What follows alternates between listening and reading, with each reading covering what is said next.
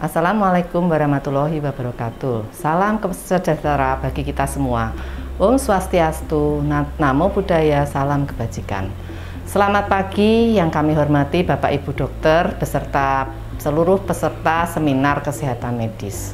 Puji syukur kehadirat Tuhan Yang Maha Esa karena pada hari ini kita sama-sama berkumpul untuk mengikuti acara seminar kesehatan secara virtual bersama Rumah Sakit Logorjo yang mengambil tema mengenal demensia Alzheimer dan pentingnya deteksi dini serta kiat mengurangi resikonya.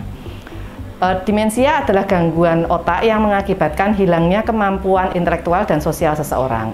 Penyakit Alzheimer sendiri adalah penyebab demensia yang paling umum dan bertanggung jawab atas 60 80% dari seluruh kasus demensia tahun 2012 WHO dan Alzheimer Disease International atau ADI melaporkan di seluruh dunia diperkirakan ada 35,6 juta orang hidup dengan demensia. Jumlah ini diperkirakan uh, akan meningkat menjadi tiga kali lipat sekitar 115 juta orang pada tahun 2050. Atas dasar laporan ini, WHO dan ADI menghimbau seluruh negara untuk meningkatkan kesadaran bahwa demensia saat ini merupakan prioritas kesehatan masyarakat. Diperlukan upaya pendekatan kesehatan masyarakat untuk mengatasi masalah demensia ini dengan memberikan prioritas pada kesiapsiagaan terhadap demensia, mengembangkan sistem kesehatan dan sosial, dukungan bagi perawatan informal dan caregiver, serta meningkatkan kesadaran masyarakat terhadap masalah demensia untuk meningkatkan pengetahuan dan pengenalan masyarakat tentang apa itu Alzheimer dan bagaimana cara menanganinya, maka Rumah Sakit Logojo beserta komunitas Alzheimer Indonesia bersama Pergemi menyelenggarakan acara seminar kesehatan secara on online dengan peserta masyarakat awam dan komunitas Alzheimer Indonesia. Adapun narasumber dalam seminar online adalah sosok yang sangat berkompeten di dalam bidangnya, antara lain Dr. Kris Pranarka, SPFM, SPPD Kager Finasim dan Dr. Rezeki Andayani SPPD Kager Finasim dan Ibu Dewi Nilasari Ketua Alsi Korwil Semarang. Kami berharap semoga seminar online ini dapat menambah wawasan para peserta agar lebih mengenal penyakit Alzheimer dan bagaimana cara penanganannya agar dapat membantu keluarga ataupun masyarakat sekitarnya sehingga penderita Alzheimer ini dapat dikenali secara dini dan ditangani dengan tepat. Kami juga mengucapkan terima kasih atas dukungan berbagai pihak sehingga acara ini dapat terselenggara dengan baik. Akhir kata, tak ada gading yang tak retak. Kami mohon maaf bila dalam pelaksanaan seminar online ini ada kata-kata ataupun teknik penyelenggaraan yang kurang berkenan. Selamat mengikuti seminar kesehatan medis. Wassalamualaikum warahmatullahi wabarakatuh. Terima kasih Dr. Elis untuk sambutannya. Selanjutnya sambutan dari Ketua Pergemi Cabang Semarang, Dr. Kris Pranarka, SPFML, SPPD Kager Finasim. Dr. Kris Pranarka, dipersilakan. Tapi sebelumnya saya perkenalkan dulu ya, tentang apa sih Pergimi itu. Pergimi itu singkatan dari Perhimpunan Gerontologi Medik Indonesia. Dia merupakan bagian dari Pergiri. Pergiri itu Perhimpunan Gerontologi Indonesia. Nah, Berdiri itu lebih luas dari berdiri Itu dari kata Heros, itu adalah lanjut usia, dan uh, katakan saja ilmu ya. Jadi ilmu yang mempelajari masalah-masalah log, apa, logi hmm. itu logos ya, ilmu yang mempelajari masalah-masalah yang berkaitan dengan usia lanjut. Antara lain masalah hukum, sosial ekonomi, kultur budaya, dan di antaranya kesehatan. Nah itulah Pergemi, Perhimpunan Gerontologi Medik Indonesia. Jadi kami yang tergabung dalam Pergemi itu khusus mempelajari, memperhatikan, memberikan pelayanan pada masalah medis. Sekali lagi, jajaran direksi Rumah Sakit Trogorejo, pendukungnya yang saya dengar dari Peter Veron, dan para pembicara yang berpartisipasi untuk suatu seminar dengan topik yang sangat ya saya kira sangat penting ya tentang demensia. Penyakit yang mengenai organ otak.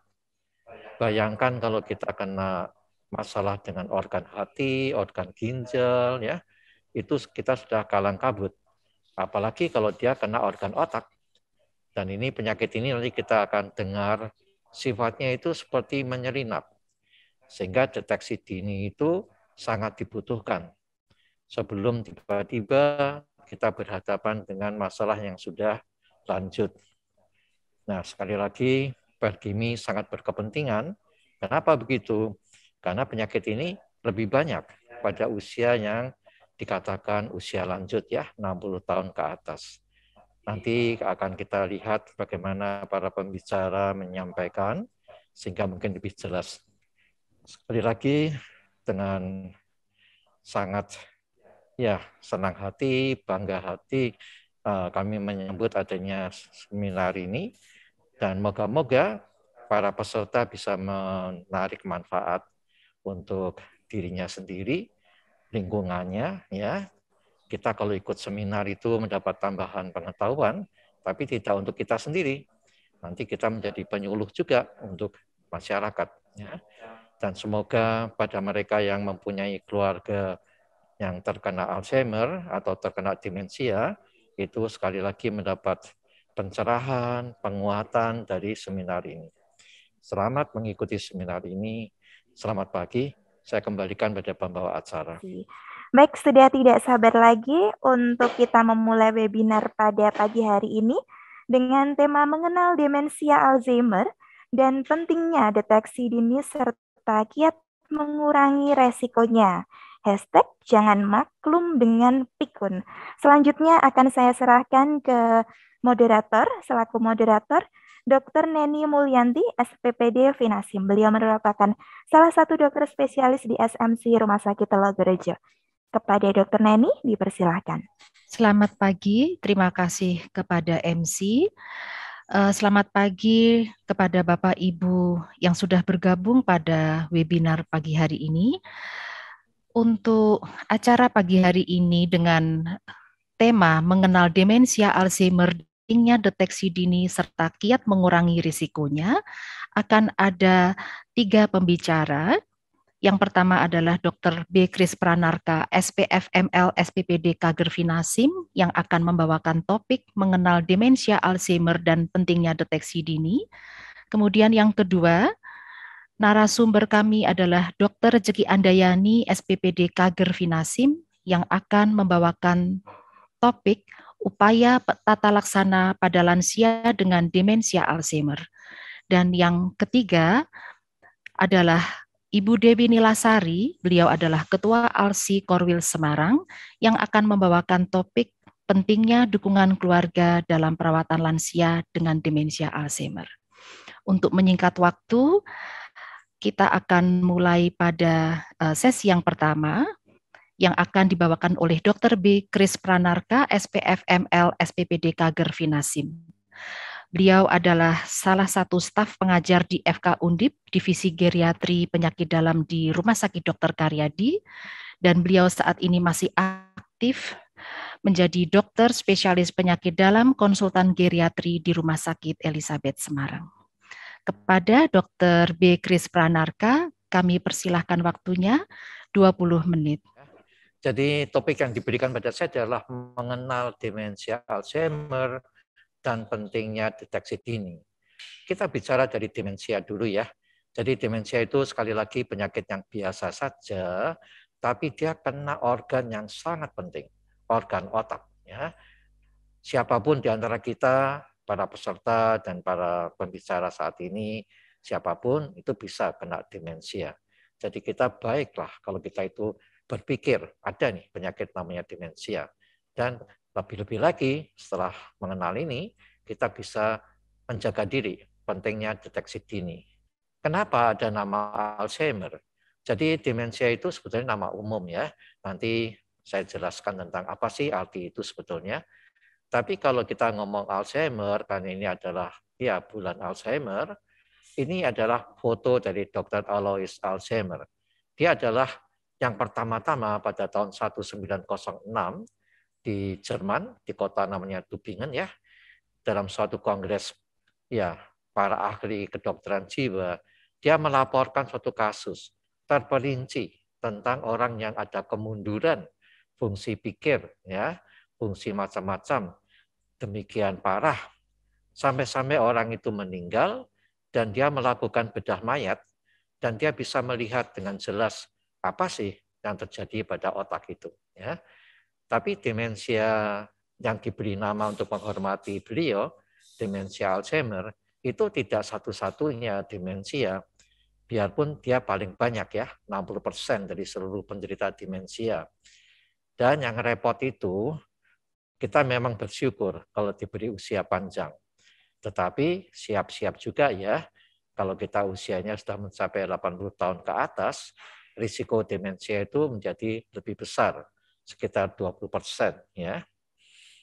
Ini lihat ya, ini adalah mungkin lebih mudah kita mengerti. Jadi kalau seseorang tidak beruntung kena penyakit pada pembuluh darah otak, ya yang kita sebut sebagai stroke ya, baik sumbatan ataupun perdarahan, itu kita akan lihat bahwa orang tadi akan berubah. Berubah bagaimana caranya berpikir, ya. Tidak hanya gerakan-gerakannya, tapi pemikirannya juga terganggu. Jadi kita sudah bisa tahu bahwa otak itu fungsinya tidak hanya mengatur gerakan-gerakan badan, tapi fungsi berpikir, ya, fungsi mengambil keputusan dan sebagainya. Nah, kalau ini namanya demensia vaskuler karena bisa diterangkan yang ini. Tapi demensia Alzheimer itu masih tanda tanya. Mengundang macam-macam. Ayo, hipotesa namanya, persangkaan. Tapi kita maju, lebih maju, dan kita akan lebih mengerti. Nah, kalau faktor risiko untuk demensia vaskuler, itu kita tahu jangan punya tekanan darah tinggi, penyakit biasa saja itu, tapi harus dikontrol. Jangan diabetes ya, pola hidup ya, Nah, kita lihat organ otak ya. Otak itu luar biasa. Ya, anugerah Tuhan di mana di situ ada ya cara kita berperilaku, daya ingat, mengontrol emosi, ya, komunikasi. Jadi kalau organ ini terganggu, kita bisa membayangkan bahwa kita itu akan menghadapi orang atau kita sendiri dengan macam-macam kesulitan, ya. Ya, para peserta, coba lihat. Otak manusia itu beratnya kira-kira 1.400 gram. Ya, dokter melihat ada beda nih.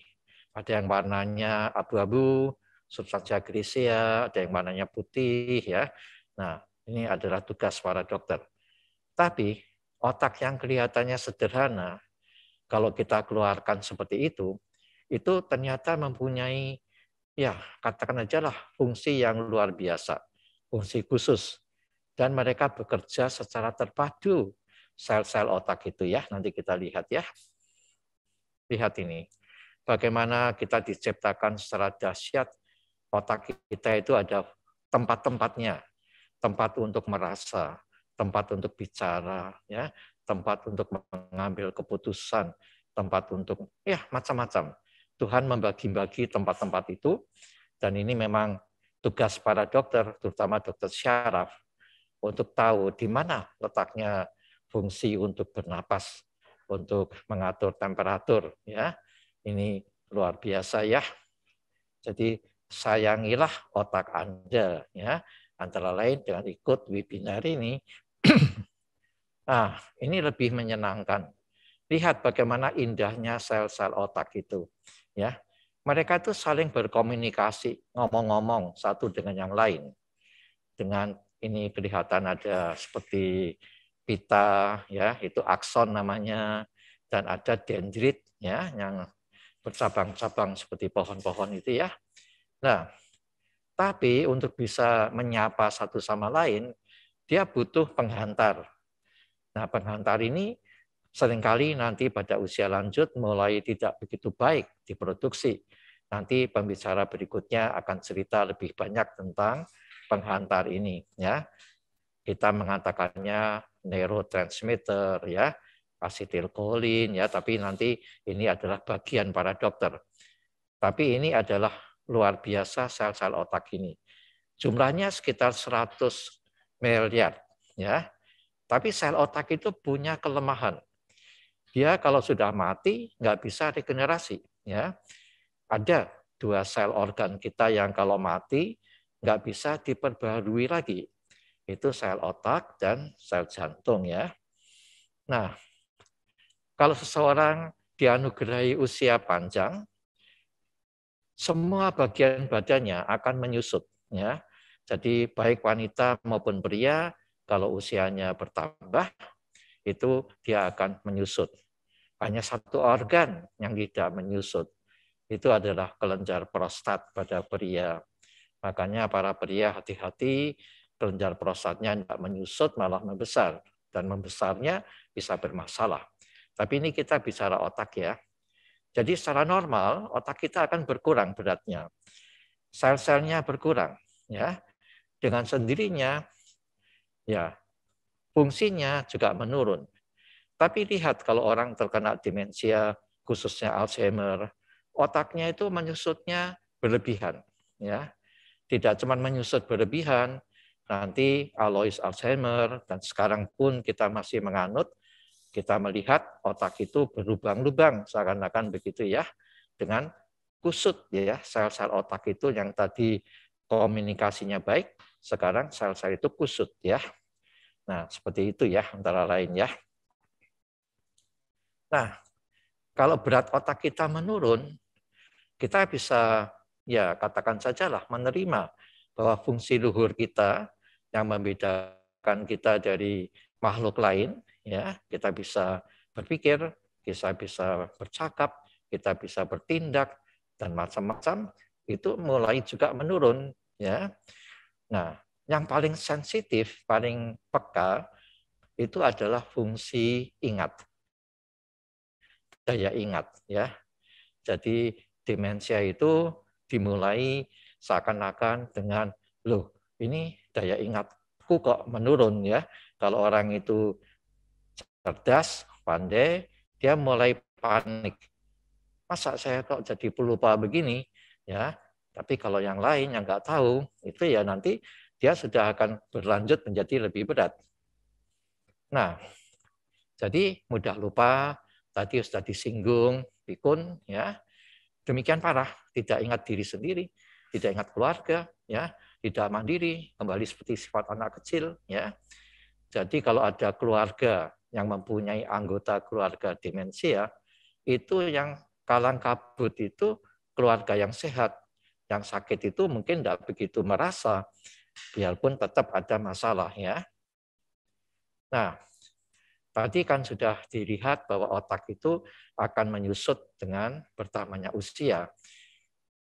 Tapi kita harus membedakan ya, keluhan mudah lupa itu apakah masih normal atau dia patologik atau penyakit gitu ya. Nah, yang masih normal itu terjadinya itu hanya sesekali ya, tidak terus-terusan ya. Kemudian sebagian saja peristiwa yang terlupa itu. Kalau diberi pancingan, itu masih ingat lagi ya. Individunya masih mandiri masih aktif ya. Jadi jangan terus mudah-mudah mengatakan diri kita demensia kalau kita lupa terutama lupa nama ya. Naming ya lupa nama itu. Dan lama-lama nggak bisa lagi berkomunikasi. Dan kemudian juga ya tidak bisa merawat diri sendiri misalnya begitu ya. Jadi kalau kita padatkan ya, demensia itu suatu kumpulan gejala klinis yang ditandai dan gangguan. Aktivitas hidup sehari-hari pasti kacau itu. Tingkah laku juga tidak bisa diprediksi, sopan santunnya ya yang sering kali mengganggu, tidak lagi norma apa mengikuti norma-norma budaya dan ini fungsi kognisi ya. Mungkin para peserta tanya kognisi itu apa sih? Nah, ini adalah kognisi ya. Jadi kognisi itu adalah daya ingat ya. Berbahasa tidak bisa lagi. Jadi memilih kata-kata itu nggak bisa baik. Ya. Berpikir pasti kacau. Perilakunya tidak bisa dipertanggungjawabkan ya. Bisa melanggar norma-norma budaya ya. Jadi macam-macam ya. Misalnya kencing di tempat sembarangan, buang air besar dan sebagainya ya. Disorientasi tidak bisa lagi membedakan ini pagi, siang, malam, di mana dia berada, ya. Bahkan nanti nggak bisa mengenali anggota keluarga, ya. Ini anaknya, dia nggak lagi ingat, ya. Konsentrasinya juga mulai tidak baik, bahkan nggak bisa diajak untuk memikirkan sesuatu bareng-bareng. Tuntas itu enggak. Pengertiannya tidak bisa dipertanggungjawabkan, ya. Nah, kadang-kadang juga punya sifat curiga berlebihan ya. Ada yang mencuri barangnya dan sebagainya ya. Wah ini bukan di rumahku sendiri ayo pulang misalnya begitu ya. Menilai diri sendiri mematut-matut diri sendiri juga terganggu nggak bisa berpakaian yang serasi yang baik begitu ya misalnya ya. Nah ada yang membuat kita itu berpikir apakah ini kelainan jiwa ya? Kalau mau tahu demensia itu dari kata demen. Demen itu bahasa Yunani artinya itu maaf ya para peserta artinya gila ya. Gila. Tapi ini bukan penyakit jiwa ini penyakit organ otak tapi di antaranya akan ada komponen-komponen seperti gangguan jiwa ya kalau apatis, cemas, depresi, tapi mulai melihat sesuatu yang tidak ada. Halusinasi, baham, ya, perilaku yang menyimpang, tiba-tiba marah-marah, langsung jadi tertawa-tawa, ya. Jadi semuanya seperti ada gangguan jiwa. Makanya selalu geriatrician, para dokter penyakit dalam yang mendalami geriatri, itu punya rekan yang akrab yaitu dokter-dokter kedokteran jiwa antara lain ya. Karena kalau menghadapi demensia ada tingkah laku dari pasien itu yang seperti gangguan jiwa. Nah, jadi sekali lagi konsekuensinya kalau demen ya nggak bisa lagi mengatur keuangan, nggak bisa lagi menyesuaikan waktu ya. Untuk hobi, hubungan sosial itu sudah terputus. Tidak ada ya untuk rapat atau katakan saja ikut klub ya ataupun pengajian bersama-sama tidak bisa lagi. Kemampuan menggunakan uang juga menjadi apa kusut ya. Karena antara lain bisa beli sayuran yang harganya mungkin 50.000 ngasih uangnya 300 misalnya begitu ya. Nah, tidak bisa lagi mengatur dirinya sendiri, yang mematut-matut diri, berpakaian, segala macam. Hati-hati, jangan sampai dia mengendarai mobil, bisa mencelakakan orang lain misalnya ya. Kemudian juga mengatur kembali peralatan dan benda-benda di rumah, alat rumah tangga, telepon, sekarang nggak bisa. Dan nggak bisa mandiri, merencanakan, mempersiapkan makanan maupun makan. Jadi benar-benar pasien demensia merupakan beban untuk keluarganya. Kali lagi pasiennya mungkin kelihatan sehat-sehat saja, tapi karena fungsi otaknya tidak lagi berjalan baik, dia kalang kabut seperti itu yang menyebabkan keluarganya itu berantakan ya. Capek keluarga itu, nanti kita akan mendengar bagaimana keluarga itu butuh dukungan dan semangat ya. Nah, kalau kita bicara faktor risiko penyakit Alzheimer atau demensia itu ada beberapa yang menyelidiki dan menyodorkan pada kita awas ya kalau dalam keluarga dan demensia biasanya nanti ada lagi nih keturunannya yang demen ya. Trauma kepala berat petinju misalnya yang sering kali dipukul kepalanya ya. Tingkat pendidikan yang rendah itu memudahkan kena demensia down syndrome ini kelainan dari kromosom, ini tidak saya jelaskan ya, ini juga jarang kok. Nah, umur lanjut tadi menyusut tapi berlebihan. Ini juga apolipoprotein ini kita lewati saja ya. Nah, penyakit-penyakit hati-hati diabetes, hipertensi ini akan mengganggu aliran darah dan ini menyebabkan risiko terjadinya demen. Jadi sekali lagi para peserta webinar yang saya hormati, kita harus waspada dengan demensia. Ingat saja, itu sudah sudah baik ya. Karena dengan ingat kita akan waspada. Penting diagnosa dini. Nah, antara lain rumah sakit Dr. Kalyadi itu punya klinik memori ya. Di dalam klinik memori itu para peserta atau pasien itu bisa lebih objektif dikenali. Apakah pelupaannya ini ke arah demensia atau ya sebab lain ya atau bahkan tidak ya ya silahkan. Dan saya sangat berterima kasih apresiasi pada rumah sakit Trogorejo ya karena sekali lagi di dalam pelayanan usia lanjut itu kita itu pengen semuanya terlibat. Tidak ada persaingan di antara kita bahkan kita saling melengkapi ya kerjasama makin banyak kita mempunyai tempat-tempat untuk pelayanan usia lanjut ya. Karena sekarang usia lanjut itu masuk ke dalam prioritas nasional.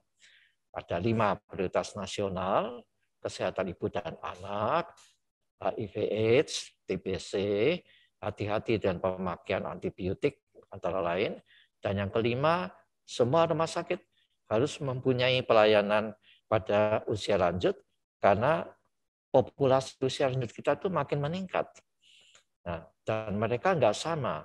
Usia lanjut nggak bisa disamakan dengan orang dewasa yang kita tuakan. Ya, demikian juga kesehatan anak itu bukan orang dewasa yang kita kecilkan, misalnya begitu ya. Nah, ini terima kasih Trogerjo telah memulai dan mempunyai dokter. Dokter yang memang qualified, yang memang mempunyai kompetensi untuk masalah usia lanjut. Nah ini kalau pemirsa bisa membaca, itu adalah pemeriksaan mini mental. Ini untuk screening ya, untuk screening. Apakah ke arah demensia. Nah ini adalah dokternya yang sebelah kiri saya itu Dr. Dwi Ngestiningsih, MKes, ya, dia spesialis pendidikan dalam, mendalami menjadi konsultan geriatri. Nah, sebelah kanan yang cantik cerita itu Dr. Neni Mulyanti ya ini sedang sekolah dan sebentar lagi akan lulus sehingga kami senang Trogorejo mempunyai beberapa dokter penyakit dalam yang apa ya minat kiprahnya pada bidang usia lanjut sebagai rekan kerja kita. Nah, jadi sebagai ringkasan, sekali lagi kita harus mengenal demensia itu sejak awal akan ada kesempatan, ada kemungkinan kita menghambat paling tidak mengobati, kita harap bisa. Karena sekarang makin banyak kita kenal kenapa toh terjadi demensia ya. Jadi kalau Anda mulai mendapatkan atau merasa sendiri aku kok mudah lupa, itu tolong apakah itu masih dalam batas wajar atau sudah berjalan ke demensia. Sebab demensia kalau sudah sampai jalan jauh itu sangat susah, sangat berat ya. Tapi kalau dia masih batas-batas yang ringan, kita akan bisa mengatasi itu. Ya, kita bisa menghambat dengan obat-obatan, dengan upaya bersama, ya, kerjasama dengan keluarga, gitu ya. Jadi penting sekali deteksi dini untuk upaya menghambat perjalanan penyakit. Ah, saya kira mungkin sebagai mengenal apa toh demensia khususnya Alzheimer dan juga deteksi dini saya kira sudah ya nanti kita akan masih berdiskusi dengan pertanyaan yang ada. Ini adalah katakan saja poster yang sangat menyenangkan ya. Jangan maklum dengan pikun ya. Jadi jangan mudah-mudah hanya menganggap itu pikun pikun yang bagaimana, itu yang penting. Saya kira demikian, saya mohon maaf kalau ada kata-kata yang kurang berkenan. Saya kembalikan pada moderator saya, Dr. Nani Mulyanti. Terima kasih Dr. Kris Pranarka yang sudah memaparkan penjelasan mengenai pengenalan demensia dengan menarik dan sangat jelas. Baiklah, selanjutnya menginjak topik yang kedua, dengan judul Upaya Tata Laksana pada Lansia dengan Demensia Alzheimer yang akan disampaikan oleh Dr. Rezeki Andayani, SPPD Kager Finasim. Beliau merupakan salah satu staf pengajar di FK Undip Divisi Geriatri Penyakit Dalam dan saat ini beliau masih aktif menjadi dokter spesialis penyakit dalam konsultan geriatri di Rumah Sakit Banyumanik Semarang dan Rumah Sakit PKU Muhammadiyah. Jadi saya akan membicarakan mengenai pengelolaan pikun atau demensia dan saya adalah anggota Perkemi cabang Semarang di bawah Dr. Chris Pranarka. Jadi eh, sekali lagi pada lansia itu memang sering terjadi gangguan dan ini gangguan yang sering di ini berapa B ini 7B apa 8B dan salah satu Jawa disebut sebagai lalen atau mudah lupa atau disebut sebagai pikun. Nah, ini demensia. Jadi prevalensi demensia yang sudah diteliti pada tahun 2016 ternyata daerah istimewa Yogyakarta ini mengalami eh, prevalensi demensia yang lebih tinggi dibanding dunia ya. Di Yogyakarta itu sekitar 20,1 persen ini terdeteksi sebagai penderita demensia Sedangkan pada global dunia itu hanya sekitar 10 sampai 16 persen. Kemudian wanita lebih banyak daripada pria dan e, ternyata penderitanya di desa lebih banyak daripada di kota. Ya, ini sudah tadi diterangkan oleh Dr. Chris bahwa terjadi perubahan normal e, otak yang normal karena menua menuju demensia dari e, fungsi kognitif yang normal kemudian menjadi gangguan minimal dari fungsi kognitif dan akhirnya menjadi demensia. Ya, ini kalau kita melihat kontinum dari gangguan kognitif apabila kita memeriksa berdasarkan nilai mini mental examination yang tadi lembarannya sudah ada di Dr. Grace. Jadi kita itu eh, kalau demensia Alzheimer itu akan mengalami penurunan secara seperti ini, landai, slow but sure dari kondisi normal lalu menjadi mudah lupa yang biasa, lalu menjadi uh, kekurangan kognitif, jadi mild cognitive impairment, dan akhirnya demensia.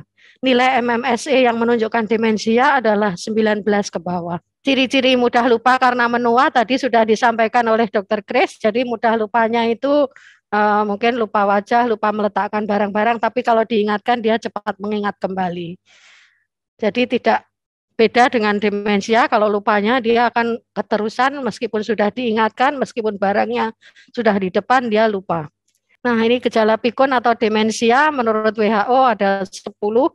Ini salah satunya perubahan tingkah laku, jadi curiga tidak beralasan, tidak ada semangat hidup, sulit tidur, cemas, perubahan emosi, dan hubungan sosial, Ya, kemudian ada kemunduran fungsi intelektual di mana sebelumnya dia bisa e, mengingat ini menjadi lupa nama orang, lupa wajah dan suara orang, lupa meletakkan kunci atau kacamata. Kemudian dia juga kelainan sering kesasar. Jadi kalau ada eyang-eyang di rumah sering salah masuk kamar yang menganggap bahwa itu kamarnya ini hati-hati ini sudah mulai ada tanda ke arah demensia kemudian lupa kata apa yang hendak diucapkan. Jadi sudah berniat untuk bicara tapi tiba-tiba dia lupa begitu saja. Kemudian mengalami kesulitan di dalam kalkulasi atau menghitung. Nah, kemudian dia juga sering lupa akan perjanjian, sudah membuat janji tapi lupa. Kemudian ada gangguan aktivitas sehari-hari yang ini sering menyebalkan orang lain. Jadi ibu misalnya ini sudah biasa membuat teh, tapi tiba-tiba ini sekarang membuat teh saja tidak bisa, membuat teh berantakan. Yang biasanya bisa menyiapkan masak makanan, ini ternyata tidak bisa lagi. Nah, itu sering terjadi. Kemudian juga penurunan dari tingkat intelijensia sebelumnya. Tadinya uh, ini ada uh, penderita itu seorang profesor, doktor, pandai sekali beliau, tapi uh, pada usia 65 tahun beliau tiba-tiba nggak ingat apa-apa nggak bisa lagi menunjukkan bahwa beliau itu seorang profesor doktor. Jadi penurunan intelijensianya begitu tajam dan uh, sering uh, gejala berikutnya adalah tidak memperdulikan uh, istilahnya tato kromo. Nah, celakanya gejala-gejala yang 10 tadi ini yang sudah lagi tertulis di sini berdasar penelitian di Jogja itu juga uh, jarang dikenali oleh orang lansia sendiri yang sehat maupun jarang dikenali oleh para caregiver, baik itu caregiver yang ada penderita demensia di rumahnya maupun yang tidak ada demensia di rumahnya. Jadi dapat dilihat di sini, yang merah itu adalah pengasuh atau caregiver lansia yang tidak ada demensianya, sedangkan yang hijau ini yang ada demensianya. Ternyata eh, pengetahuannya sama saja. Jadi eh, kurang ya pengetahuannya mengenai 10 gejala yang di sebelah ini eh, beliau itu uh, kurang. Apalagi para lansianya ini yang biru. Nah, itulah sebabnya kenapa lalu kita sering terlambat. Oleh sebab itu nanti dengan adanya LC dan juga uh, para rumah sakit ini sudah banyak ahli geriatrinya, mungkin ini akan lebih mudah dikenal. Kalau lebih mudah dikenal, bisa diawali uh, dia menyadari dirinya sakit, lalu bisa dimulai penata laksanaannya itu sejak dini. Jadi patokan mengenal pikun demensia itu yang pertama adalah menurunnya daya ingat fungsi luhur, kemudian merosotnya interaksi sosial dan cenderung dia makin berat. Nah, ini faktor risiko tadi sudah diterangkan oleh Dr. Chris juga. Jadi faktor risiko itu eh, banyak penyakit tadi sudah diterangkan dan ada juga faktor yang eh, pelindung. Nah, faktor-faktor pelindung ini yang hijau ini. Jadi uh, lansia yang biasanya makan dengan gizi yang baik, aktivitas fisik baik, kemudian uh, kesehatannya juga baik, pendidikannya cukup, kemudian uh, apa namanya pengaturan emosi, tidur dan lain-lain baik itu uh, biasanya jarang terkena uh, demensia ini. Tetapi ada faktor risiko yang sama sekali tidak bisa kita ubah. Faktor risiko yang tidak bisa kita ubah itu adalah umur, jadi semakin lanjut usia kita itu semakin banyak nanti akan terkena penyakit ini demensia. Kemudian eh, juga genetik. Jadi kalau ada faktor keturunan itu kita eh, tidak bisa menghindar lagi. Mungkin kita akan terkena lebih besar kemungkinannya terkena. Sedangkan faktor risiko yang lain ini itu eh, bisa diatasi. Nah, yang tidak bisa juga adalah Down syndrome yang tadi sudah dikatakan Dr. Chris, ini suatu kelainan uh, genetik sejak kelahiran. Nah, sekarang kita pada uh, mulai dari tata kelola, tata kelola itu selalu uh, pencegahan itu lebih baik daripada pengobatan. Dan inilah uh, pencegahan demensia yang uh, sering dianjurkan dan ini juga sudah masuk ke dalam PPK panduan praktek klinik uh, untuk demensia di yang dikeluarkan oleh Kemkes ya. Jadi nomor satu adalah kita kalau sudah mulai umur 60 tahun ke atas, maka kontrol kesehatannya secara teratur, kemudian harus mengatur pola atau menu makanan yang sehat, olahraga yang teratur, dan harus sering menggunakan otak. Mungkin sering main catur, main tebak-tebakan, main eh, apa namanya, hmm, menjawab TTS, main puzzle ya.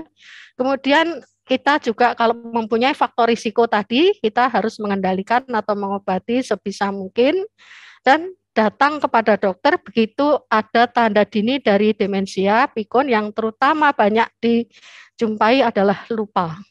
Jadi kalau sudah mulai lupa, lupa itu uh, lebih baik keluarganya, putranya atau saudaranya membawa beliau ke uh, dokter. Nah, kemudian pengelolaan dari demensia ini tujuannya secara umum adalah nomor satu mengendalikan faktor risiko, kemudian membuatnya semandiri mungkin dan selama mungkin, mengurangi gejala atau mencegah untuk tidak menjadi buruk. Pertahankan kualitas hidup dengan kemampuan yang ada, kemudian mengobati gangguan yang ada, mengembalikan harga diri dari penderita dan keluarganya, menjaga keselamatan penderita dan meningkatkan kenyamanan hidup dari penderita dan keluarganya atau caregiver. Nah, pengelolaan ini pendekatannya ada farmakologik dan non farmakologik. Dengan memakai obat, sedangkan yang non farmakologik itu tidak memakai obat. Nah, ini adalah algoritma tata laksana demensia.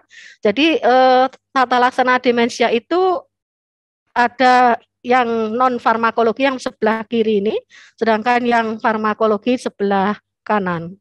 Nah, tujuan atau goal dari penanganan Alzheimer disease itu yang pertama adalah memperbaiki kualitas hidup ODD. UDD itu orang dengan demensia ya, memperbaiki kualitas hidupnya. Kemudian yang kedua, memaksimalkan fungsi aktivitas daily living-nya. Jadi semandiri mungkin. Memperbaiki gejala mood dan behaviornya. Jadi memperbaiki kondisi perasaannya, emosinya, dan juga tingkah lakunya.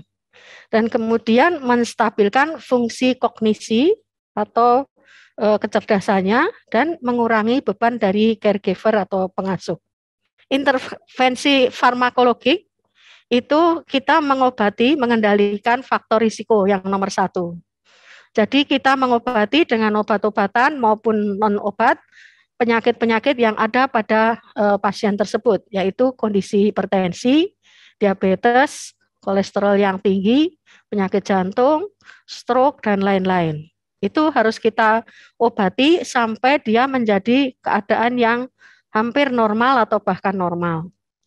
Nah, kemudian yang kedua, kita memperbaiki fungsi kognitif untuk memperbaiki pikun. Obat-obat yang dipakai itu adalah obat-obat eh, asetil asetilkolinesterase inhibitor asetilkolinesterase seperti donepezil, rivastigmin, galantamin, dan takrin serta anti NMDA yaitu memantin. Ini berdasarkan PPK Demensia 2016 dosis sediaan dan dosis awal cara pemakaian dari obat-obatan. Dan ini rekomendasi obat dosis penguat kognisi yang NMDA antagonis memantin. Dan biasanya memantin dipakai untuk demensia yang berat, sedang berat.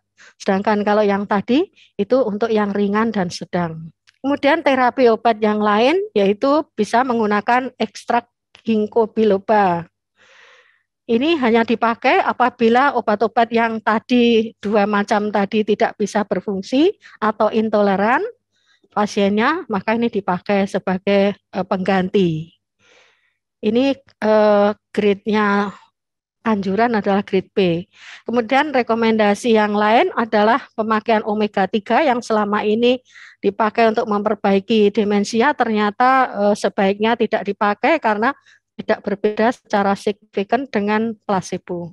Nah, kemudian vitamin E yang juga sering direkomendasikan untuk eh, terapi demensia dan memperbaiki MCI ternyata juga tidak tidak berfungsi dengan baik.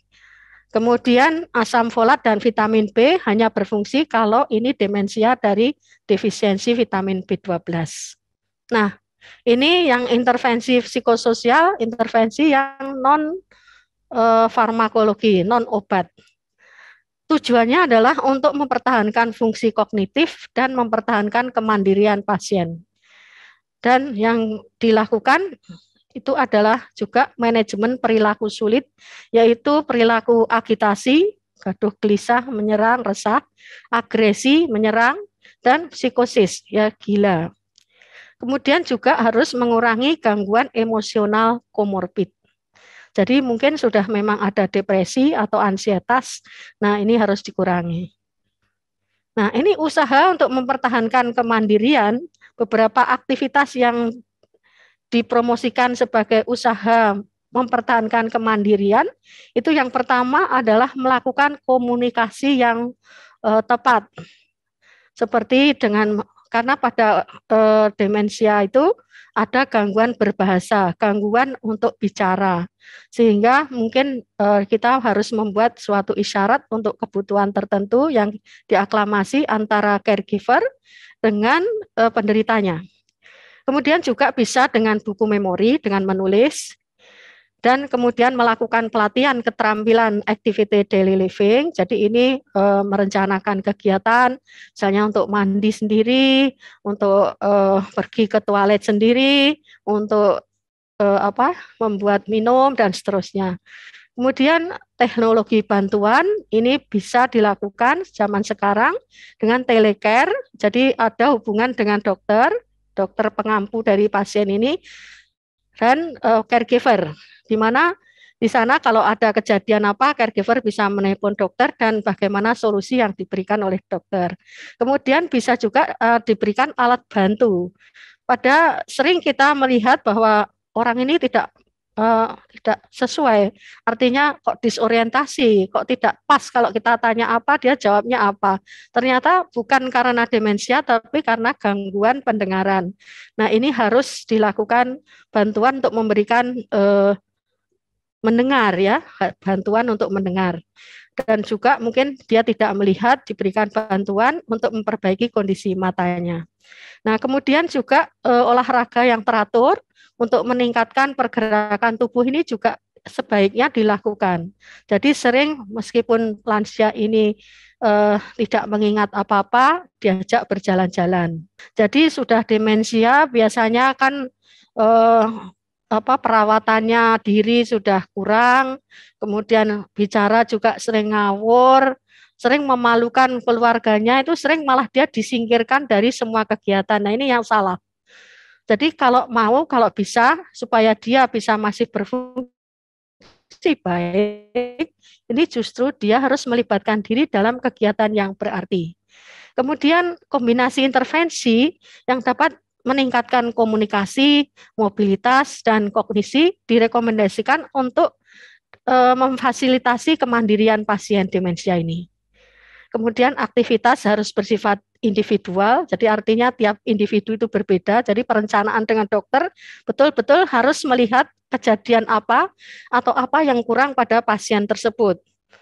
Nah, kemudian intervensi perlu diintegrasikan dengan menargetkan kebutuhan kompleks seseorang. Jadi harus individual, sangat individual dengan mempertimbangkan juga kondisi caregiver dan juga kondisi lingkungan hidupnya perubahan eh, gaya hidup ya supaya seorang usia lanjut itu tidak akan terkena demensia. Ya, beberapa nasihat untuk seorang usia senja itu bisa dilakukan.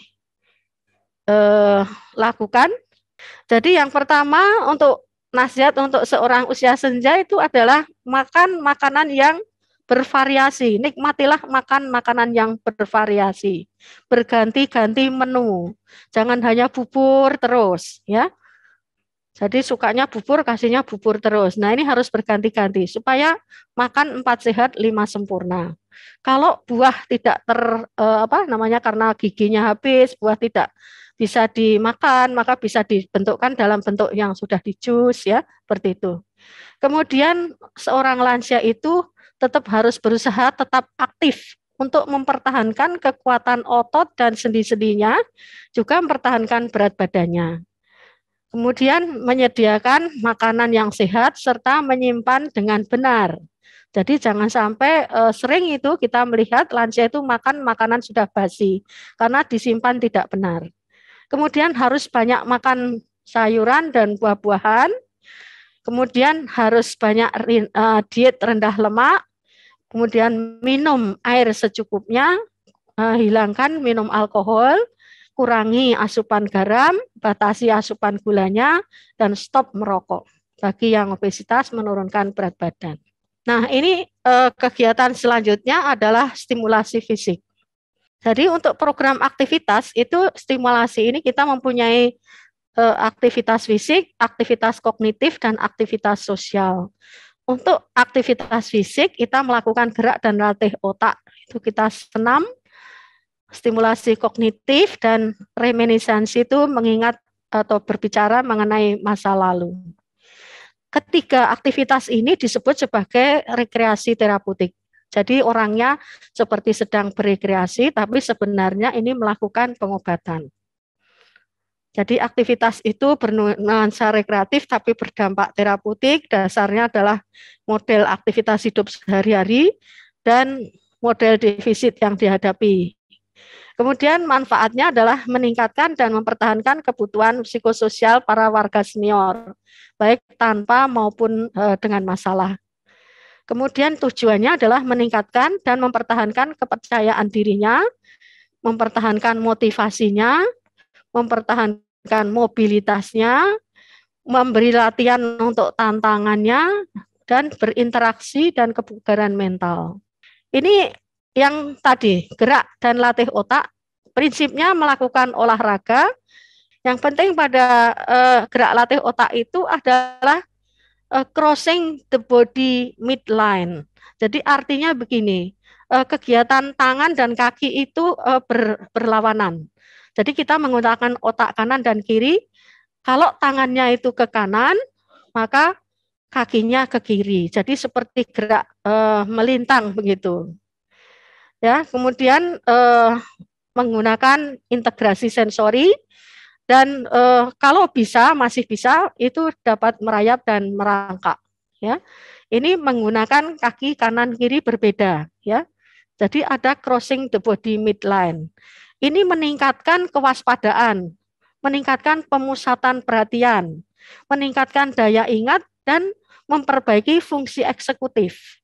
Jadi kalau kita menggerakkan tangan itu e, ke kiri, terus kakinya ke kiri, itu kita tidak memakai otak kita, tidak pakai daya ingat kita. Nah, makanya kita harus melakukan dan itu nanti dilakukan pertama-tama lambat dan kemudian melakukan kegiatannya itu dengan lebih cepat sehingga uh, dia akan ingat.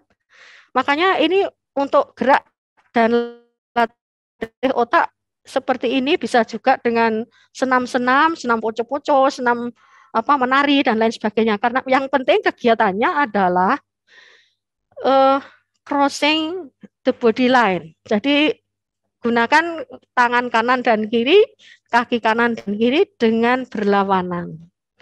Dan ini akan melatih ya, daya ingatnya dia dan juga kewaspadaannya. Pendidikan caregiver caregivernya ini tinggi karena kalau tidak eh, nanti akan eh, kedodoran ya di dalam melakukan eh, istilahnya transfer knowledge.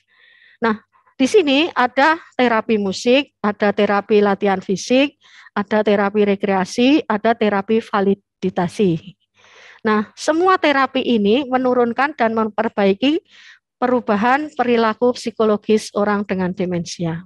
Nah, jadi pada waktu kita menghadapi pasien dengan perubahan perilaku, maka yang harus dilakukan oleh keluarga, caregiver maupun dokternya adalah meninjau, mencari apakah perubahan perilaku itu disebabkan oleh gangguan fisik. Misalnya apa ada rasa nyeri, ada pusing, ada eh, apa namanya eh, kelemahan dari otot-otot dan seterusnya. Kemudian kita juga harus memeriksa daftar obat. Apakah ada obat-obat yang uh, istilahnya membuat seorang lansia itu koplo, mengantuk atau kekurangan uh, daya ingat, misalnya obat-obat tranquilizer, obat-obat antidepresi ya yang diberikan.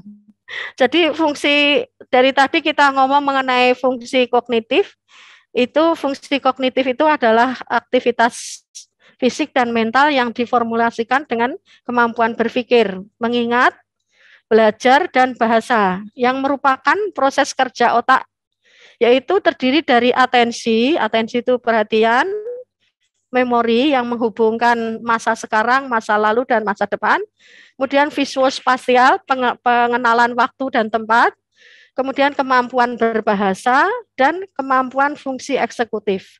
Kemampuan fungsi eksekutif itu kemampuan meng mengkoordinasikan sesuatu. Misalnya bagaimana cara membuat teh. Nah, ini adalah memerlukan fungsi eksekutif. Harus terkoordinasi supaya jadi teh yang enak. Nah, kemudian stimulasi rehabilitasi kognitif itu adalah aktivitas untuk meningkatkan, memperbaiki dan menanggulangi proses kerja otak atau kognitif dalam rangka meningkatkan fungsi intelijensi termasuk dalam hal ini adalah sensomotorik, praksis, dan representatif. Stimulasi adalah seluruh proses kerja aktif berkaitan kerja otak untuk meningkatkan fungsi intelijensi sepanjang hidupnya.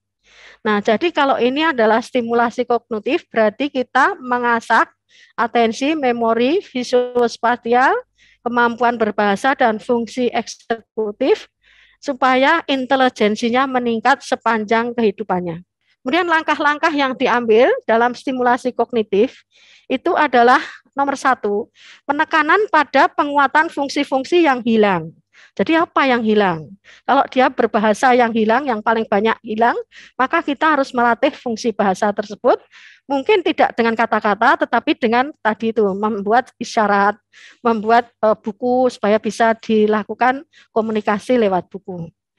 Kemudian uh, kemampuan diri dan kontrol diri ini perlu, ya. Kemudian harus dilakukan diagnosis terlebih dulu. Gangguan apa yang terjadi dan apa penyebabnya, meliputi kondisi fisik, kondisi kognitifnya, kondisi emosinya, dan kondisi sosialnya. Kemudian kalau kita mempersiapkan sesi eh, pelatihan, itu harus selalu terstruktur dan terencana dengan referensi gangguan kognitif dan gangguan aktivitas sehari-hari yang akan kita latihkan sehingga kita bisa melakukan evaluasi efektif secara uh, terapinya tersebut. Kemudian rehabilitasi ini bersifat fleksibel dan memberikan pemahaman pada penderita tentang kondisinya saat ini. Penderita dapat beradaptasi dengan munculnya kemampuan-kemampuan baru, merubah perasaan atau emosinya, dan juga merubah pemikiran yang negatif. Pendekatan stimulasi dan rehabilitasi sosial dilakukan dengan dukungan dari terapis, kliennya, ODD-nya itu anggota keluarga, caregiver. Pendekatan dilakukan melalui partisipasi aktif dengan fokusnya adalah pasien dapat membangun kepercayaan diri. Nah, ini pendekatan berorientasi kognitif. Tiga jenis pendekatan dengan fokus utama kognitif yaitu stimulasi kognitif. Ini memerlukan paparan dan keterlibatan dengan kegiatan dan materi yang melibatkan beberapa tingkat pengolahan kognitif. Kemudian yang kedua, pelatihan kognitif. Merupakan latihan khusus yang diarahkan untuk meningkatkan fungsi kognitif yang spesifik. Apa yang hilang tadi itu? Nah, kemudian rehabilitasi kognitif termasuk untuk menggapai tujuan pribadi yaitu sering menggunakan alat bantu kognitif eksternal dengan penggunaan beberapa strategi pembelajaran. Rekomendasinya adalah terapi perilaku kognitif ini dapat digunakan untuk mengobati depresi pada demensia dini. Kemudian terapi reminiscent dapat digunakan pada pasien dengan depresi dan kecemasan. Reminiscent terapi ini adalah untuk e, mengingat masa lalu. Jadi diingatkan kembali tentang e, kemampuannya di masa lalu. Kemudian intervensi pengasuh dapat meliputi berbagai bentuk dan umumnya meliputi ini intervensi pengasuh ya caregiver. Ini adalah satu konseling individu dan keluarga.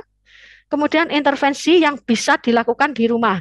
Ini dilakukan oleh caregiver dan kemudian sebaiknya ada caregiver support group. Jadi ada yang uh, datang atau kumpulan yang bisa melatih. Nanti mungkin pembicara ketiga lebih jelas. Kemudian intervensinya harus berbasis teknologi dan mungkin mempersiapkan di setiap rumah sakit ini respite care. Kemudian juga melakukan pelatihan keterampilan dan psikoedukasi untuk caregiver. Nah, ini stimulasi kognitif. Stimulasi kognitif ada tiga jenis program, yaitu dengan tulisan, pen and paper, kemudian tiga dimensi, dan komputerize dengan komputer. Nah, ini contoh dari dengan penggunaan pen. Ini latihan yang eh, biasanya bisa dilakukan untuk demensia ringan dan sedang. Jadi di sini penderita disuruh membaca angka-angka. Jadi ini ada angka, angkanya hanya dua dan satu, angka dua dan angka satu. Kemudian perintahnya adalah bacalah angka-angka tersebut secepat mungkin, tapi dengan angka satu dikatakan dua dan angka dua dikatakan satu. Jadi coba lihat di latihan satu yang paling depan, angka sebenarnya adalah dua satu satu dua satu dua satu satu dua dua dan seterusnya. Nah ini nanti membacanya tidak itu, tapi membacanya adalah satu dua dua satu dua satu dua dua satu satu dan seterusnya. Jadi setiap angka satu dibaca dua, setiap angka dua dibaca satu. Dan latihan ini diulang-ulang. Nah minimal satu sesi itu harus mengulang empat ini, empat latihan ini. Dan nanti semakin baik kondisinya kalau waktu yang dibutuhkan semakin cepat. Jadi maksudnya semakin eh, cepat dia menyelesaikan tugas satu rate ini. Kalau semakin lambat artinya dia sudah lelah atau e, mungkin perlu diulang lagi. Boleh perlu mulai dari pelan-pelan. Di sini kelihatan bahwa yang dilatih itu adalah konsentrasinya, pengenalan bentuk benda visual spatialnya, dan juga eh, kemampuan berbahasanya. Karena perintah ini dibacakan sama kita, ya sehingga kalau lansia ini masih bisa berbahasa, mestinya bisa mengerjakan perintah. Kemudian latihan berikutnya adalah latihan angka desimal.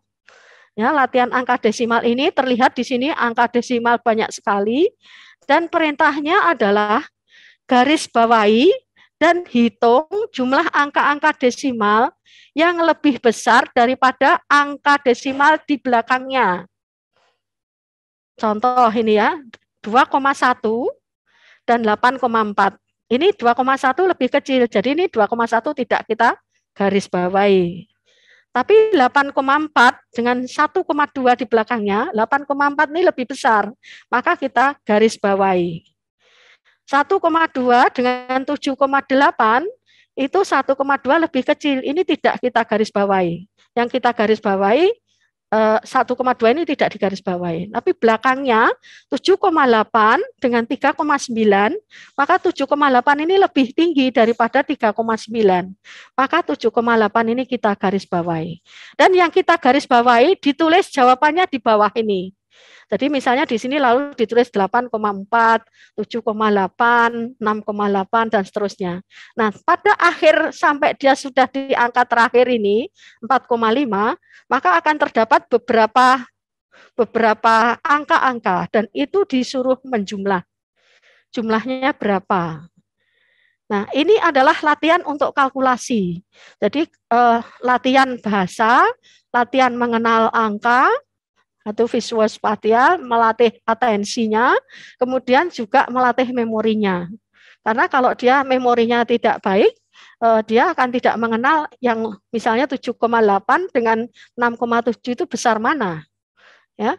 Dan kemudian terakhir dia harus menghitung kalkulasinya, penghitungan yang sederhana. Nah, kemudian ini latihan yang berikutnya adalah stick dan numbers. Jadi kita di sini diberikan soal dengan stake ini, ini dengan uh, misalnya uh, tusuk gigi ya disusun seperti ini. Ada 99 dikurangi 59 sama dengan 10. Nah, ini disuruh perintahnya adalah gantilah satu stick ini, satu stick saja Anda pindah tempatnya untuk bisa jawaban ini betul bahwa dikurangi 59 itu 10. Maka kalau dia masih bisa berkalkulasi, penderita ini, dia akan menjumlah 10 dengan 59 itu 69. Jadi kalau begitu kita harus e, mengubah 99 itu menjadi angka 69. Dan inilah caranya yaitu stick yang di 9 di belakang itu kita pindah di depannya e, angka 9 yang e, masih bolong maka jadilah 69 dikurangi 59 sama dengan 10. Ini kelihatannya gampang sekali, tetapi ini untuk dilatihkan kepada lansia itu memerlukan uh, istilahnya effort yang besar. Ya, kesabaran yang besar. Apalagi pada orang dengan demensia.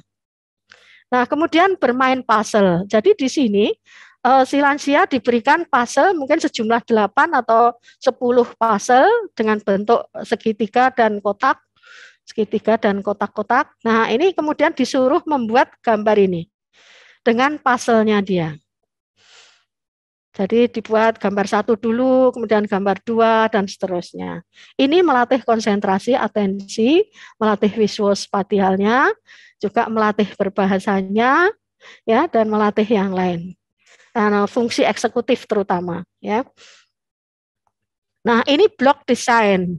Blok desain si lansia mendapatkan kotak-kotak seperti ini, kotak kayu, lalu disuruh menurun atau membuat gambaran seperti bangunan yang di, ada di gambar ini. Ini kalau lansianya sudah uh, demen itu akan sangat sulit. Ini latihan ini hanya bisa diberikan pada demensia yang ringan dan sedang. Nah, kemudian stimulasi psikososial. Ada dua kegiatan yaitu aktivitas reminiscensi dan orientasi nyata, reality orientation activity. Nah, ini terapi orientasi yang realitas atau TOR itu konsepnya adalah mengulang-ulang kata-kata untuk mengingatkan ODD. Nah, ini tujuannya adalah meningkatkan interaksi ODD dengan lingkungannya dan meningkatkan orientasi ODD. Ada dua jenis TOR, yaitu TOR yang 24 jam dilakukan di rumah oleh caregiver maupun anggota keluarga. Dan yang berikutnya adalah TOR yang formal, yang kelas, jadi seperti masuk ke kelas gitu, mungkin di rehabilitasi medik. Nah, mungkin waktunya hanya 1 sampai 2 jam. Nah, ternyata dari penelitian ini TOR 24 jam itu jauh lebih baik hasilnya dibandingkan yang formal.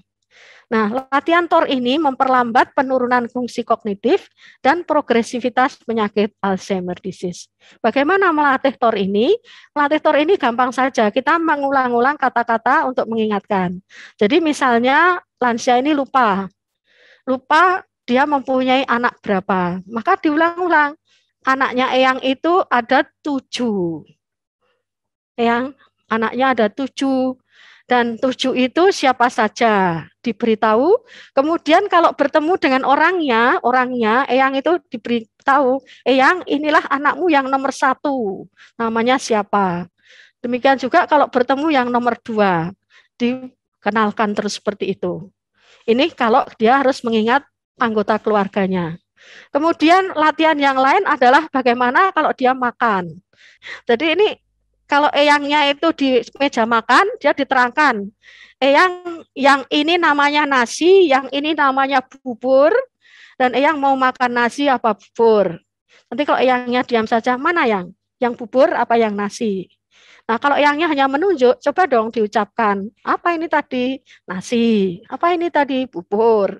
Itu ya. Jadi ada eh, mengulang-ulang kata-kata untuk mengingatkan kembali. Demikian juga mengulang-ulang aktivitas. Jadi kalau Eyang ini sudah selesai makan, Eyang ini diajari piringnya setelah ini Eyang ayo dibawa ke sana ke tempat cuci piring begitu ya. Jadi diulang-ulang seperti itu. Ini adalah terapi orientasi realitas dan ini eh, biasanya berhasil untuk memperbaiki kondisi. Nah, kemudian yang ini adalah mengikatkan zaman dulu ya. Zaman dia sekolah, itu sekolahnya di mana, namanya siapa, di sekolahnya di mana, temannya siapa, namanya adik-adiknya siapa, nama ibunya siapa, dan seterusnya. Jadi ini yang demikian. Nah ternyata rekomendasinya adalah stimulasi kognitif, baik yang TOR maupun yang terapi reminiscensi ini dapat digunakan untuk meningkatkan fungsi kognitif pada pasien dengan demensia ringan maupun sedang. Nah, kemudian eh, kunci dari sukses pengelolaan itu adalah kontrol yang teratur, pengawasan kesehatan fisik dan kognitifnya juga teratur, mengedukasi dan mensupport pasien dan keluarganya, pemberian obat-obatan dan terapi non farmakologi yang memungkinkan, memotivasi pasien, memotivasi pasien keluarga untuk mau menjadi volunteer ini supaya ada penelitian hasil ya. Nah, kemudian tata kelola dianggap berhasil apabila terjadi perbaikan dalam depresi dan agitasinya, tidak ada efek samping obat-obatan, terdapat penurunan konsumsi alkohol, tidak ada defisiensi vitamin dan mineral, dan terjadi perbaikan problem metabolismenya. Nah, ini uh, terakhir. Jadi pikun atau gangguan fungsi luhur jangan dianggap remeh. Pikun bukan hal yang lumrah pada lansia, jadi ini suatu kelainan. Harus dicari penyebabnya karena ada yang dapat disembuhkan bila dikelola sejak dini. Gaya hidup yang seimbang, olahraga teratur, diet seimbang, hindari stres, gunakan otak terus-menerus, ini menghindari pikun. Jadi pomeonya kalau dulu Prof. Budi Darmoyo, guru besar saya, waktu saya belajar di geriatri itu mengatakan bahwa rest itu rus. Jadi kalau banyak istirahat, banyak tidak menggunakan organ tubuhnya sampai otaknya, maka jadilah kita karatan, jadilah pikun, jadilah nggak bisa bergerak. Saya kira itu saja. Terima kasih. Assalamualaikum warahmatullahi wabarakatuh. Terima kasih Dr. Rezeki Andayani atas pemaparannya yang sangat lengkap. Baiklah kita menginjak pada topik yang terakhir, yaitu pentingnya dukungan keluarga dalam perawatan lansia dengan demensia Alzheimer, yang akan disampaikan oleh Ibu Dewi Nilasari. Beliau ini adalah Ketua Alzheimer Indonesia Korwil Semarang. Waktu dan tempat kami persilahkan. Alzheimer ditemukan oleh Alois Alzheimer pada tahun 1906 dengan gejala-gejala yang tadi juga sudah dijelaskan, faktor-faktor yang mempengaruhi yang tidak bisa dirubah, bisa dirubah, faktor protektif, stimulasi otak, aktivitas fisik, aktivitas mental, aktivitas sosial, tadi juga sudah sangat dijelaskan. Next. Nah, ini dia data demensia di dunia. Alzheimer Indonesia ada di sini uh, dengan visi dan misi untuk meningkatkan kualitas hidup orang dengan demensia dan dengan keluarganya. Kenapa kami ada?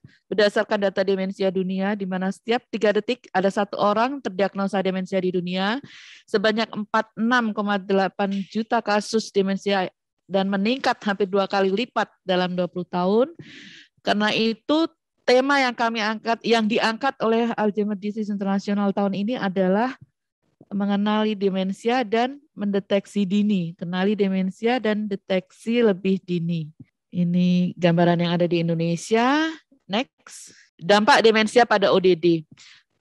Pada ODD yang terjadi adalah kemandirian kotak sosial, ketidakmampuan pengambilan keputusan dan kontrol yang menyebabkan ODD membutuhkan bantuan hampir 90 persen, 80 persen oleh uh, inner circle, orang-orang yang ada di sekitarnya. Di situlah keluarga menjadi peran yang sangat penting.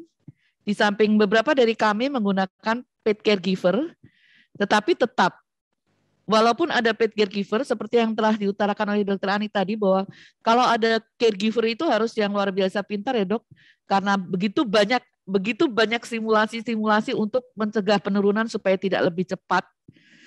Uh, dan itu sangat sulit terjadi, sangat sulit sekali menemukan caregiver yang yang luar biasa menguasai sekian banyak simulasi dan akhirnya pihak keluarga lah yang kami 24 per, 24 jam menjadi pendamping dan membantu membantu menyiapkan berbagai jenis simulasi-simulasi yang mencegah terjadi penurunan yang lebih lanjut. Dan itu pun sangat tergantung dari state-state uh, eh, ODD sendiri dampak demensia terhadap komunikasi, menurunnya daya, daya konsentrasi, kehilangan memori jangka pendek, kehilangan daya kognitif, mengulang kembali informasi yang sudah disampaikan, kesulitan memahami konsep abstrak, senang merangkai cerita, kesalahan dalam menangkap komunikasi nonverbal. Ini salah satu kemampuan yang harus sangat dimiliki oleh pihak keluarga sebagai supporting system. Karena menurunnya daya konsentrasi yang menyebabkan mereka akan selalu mengulang, mengulang, mengulang pertanyaan yang sama, dijawab, diulang lagi, dijawab, diulang lagi. Kesulitan memahami konsep, kesulitan uh, kesulitan menerima perintah juga. Jadi semua serba dituntun dan itu menyebabkan ketidakadanya kemandirian yang menyebabkan 80% ketergantungan terhadap orang di sekitarnya. Ini salah satu yang kita sudah lakukan selama ini tips berkomunikasi dengan ODD. Jangan mendebat, karena yang ada di sana uh, pasti akan berbeda dengan yang ada, karena yang diingat adalah masa fase-fase yang lalu, fase-fase yang sebelumnya. Jadi disetujui saja, jangan menggunakan logika, diganti saja topiknya. Uh, jangan mencela, dialihkan perhatiannya. Jangan berceramah, diyakinkan saja. Jangan katakan ingat ya, ajak saja dia bernostalgia. Jangan katakan saya sudah bilang. Ulangi saja perkataannya. Ini ini beberapa tips do dan don't yang memang sangat penting walaupun pada kenyataannya sering sekali kita pun tidak bisa melakukan karena akhirnya terpancing juga emosi kita sebagai caregiver. Perasaan tadi udah diomongin A, diulang lagi A, diulang lagi A gitu. Dan uh, pengulangan-pengulangan itu yang melelahkan yang membuat pihak caregiver harus luar biasa siap mental untuk uh, menanggapi semua kalimat-kalimat yang itu terjadi terus-menerus ya dok ya. Terjadi terus-menerus dan berulang-ulang, terjadi terus-menerus dan berulang-ulang. Tipe-tipe perilaku, tipe-tipe perilaku pada ODD. Restlessness, rasa jenuh, permasalahan dengan komunikasi, Tipsnya kita melakukan aktivitas rutin dan bermakna. Repetitive behavior seperti yang sudah dijelaskan juga oleh Dr. Ani, rasa cemas, khawatir, dan ingin merasa aman dan nyaman, pekat terhadap perilaku ODD. Kesulitan terbesar yang dialami oleh pihak keluarga adalah um, mengetahui, kalau kami menyebutnya menggunakan bahasa kalbu karena saking kita sudah tidak tahu apa yang diomongkan dengan apa yang diinginkan itu sering sekali sangat berbeda. Jadi yang kita lakukan adalah mengobservasi apa sebenarnya yang terjadi. Kalau kegelisahan uh, eh, ODD kami itu biasanya bergerak sana sini atau itu sebenarnya apa sih yang ingin dikatakan, apa sih yang ingin disampaikan? Eh, karena ketidakmampuan beliau-beliau itu para ODD untuk mengungkapkan sebenarnya apa yang ada di pikiran mereka. Shouting and screaming. Perilaku berteriak merasa sakit, kurang nyaman, unmet needs, dan itu sering sekali uh, teriakannya pun tidak tidak sesuai dengan apa yang dirasakan. Karena uh, memang kerusakannya di situ ya. Tidak tips melawan dan kita tidak bisa melawan atau memotong pembicaraan. Ini ini yang sering terjadi.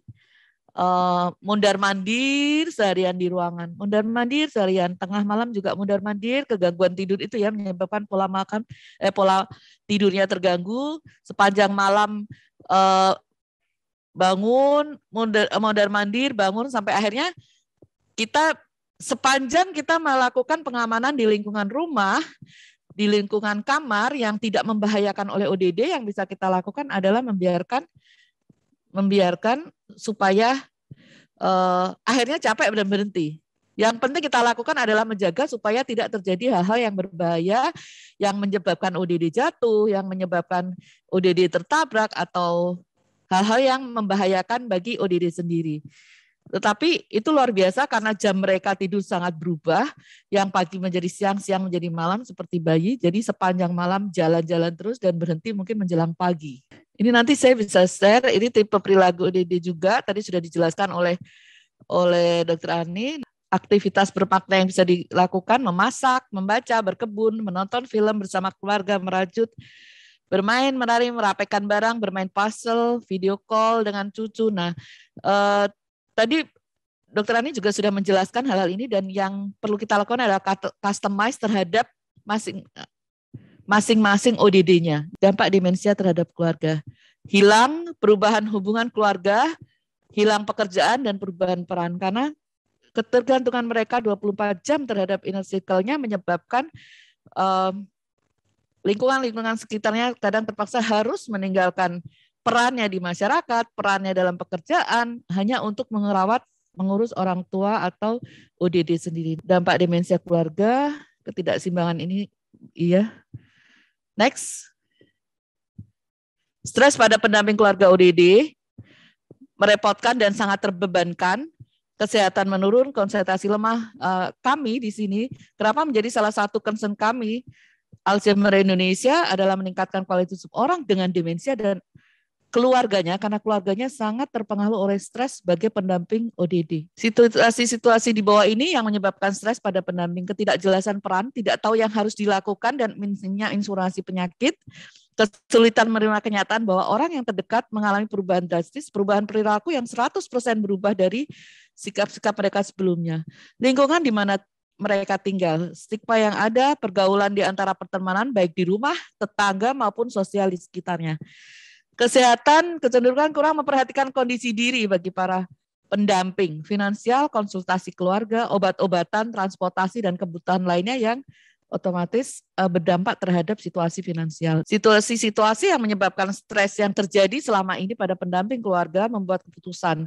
Karena uh, keluarga itu uh, pendamping itu biasanya tidak semua terlibat ada salah satu yang terlibat penuh 24 jam mengurus orang tuanya dan sisanya mungkin hanya mensupport dalam satu atau dua hal.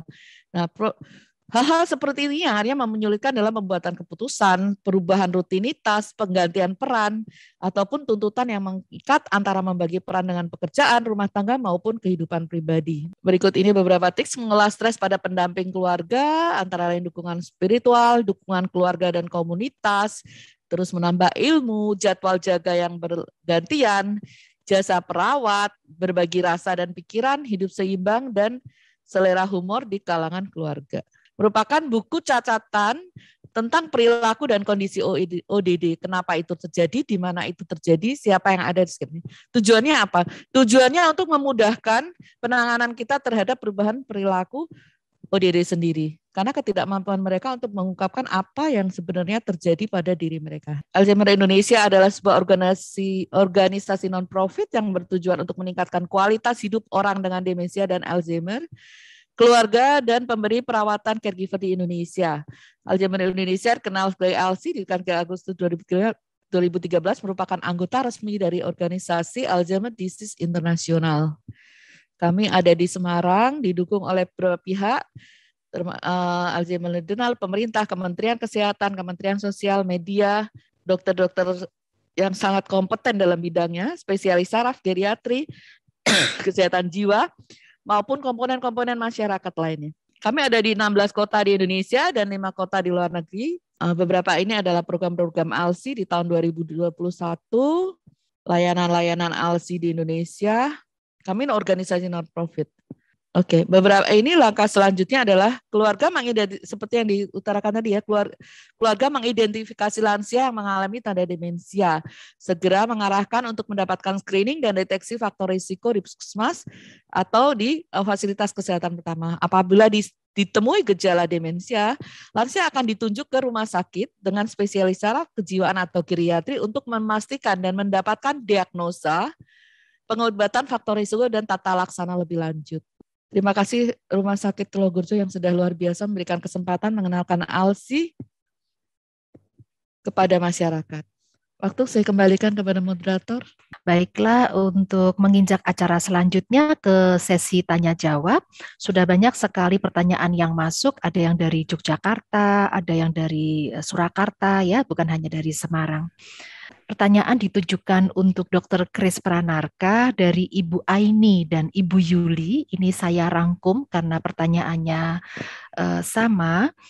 Uh, beliau menanyakan dokter, apakah usia muda ini juga bisa terkena penyakit Alzheimer? Dan adakah cara pencegahannya supaya otak kita itu tidak menyusut dengan lebih cepat? Apakah usia muda kita bisa kena Alzheimer? Jadi mungkin memang ini topiknya demensia Alzheimer, tapi titik beratnya itu adalah demensia, ya. Jadi usia muda itu bisa loh kena demensia kalau kita punya faktor-faktor risiko. Nah, risikonya apa? Ya, tadi itu ada hipertensi, diabetes dan sebagainya. Tapi kalau usia mudanya itu tidak ada masalah, kok dia bisa kena Alzheimer? Ya, memang saya harus tanya dulu maksudnya penanya ini usia muda yang kayak apa? Apakah usia muda umur 30, 20, atau 50 ya? Karena kita kesepakatannya usia lanjut itu 60 tahun ke atas.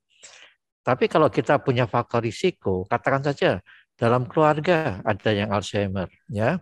Kemudian kita juga mungkin pendidikannya itu maaf ya agak rendah begitu ya. Itu namanya risk factor, faktor risiko. Belum tentu tetapi ada kemungkinan kita kena ya. Kemudian untuk mengurangi kemungkinan penyusutan otak ini sebetulnya ada istilahnya aging ya. Natural aging. Kita tuh menua dengan natural ya semua badan anggota badan organ kita itu akan menyusut termasuk otak. Tapi kalau kita ingin mengawetkan otak itu dalam tanda kutip ya, kita harus selalu memakai otak tadi. Use it or lose it. Kalau tidak kamu pakai, ya kehilangan begitu ya.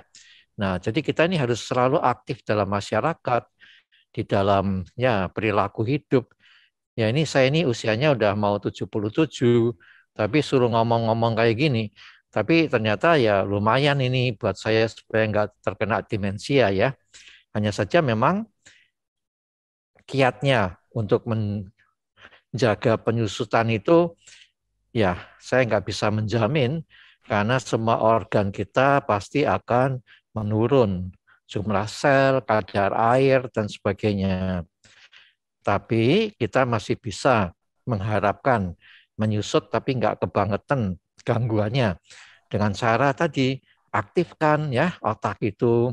Tadi dokter Ani menjelaskan otak kanan, otak kiri, ada itu olahraganya, ya, train the brain, ya.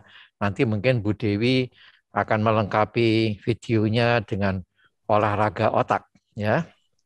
Saya kira itu ya, Dokter Nani. Uh, baik, terima kasih Dokter Chris. Jadi untuk masalah usia itu bisa hmm. terjadi pada usia muda dan usia lanjut ya dokter ya. Namun kalau dari persentasenya tetap lebih banyak diderita oleh usia lanjut seperti itu Dokter Chris?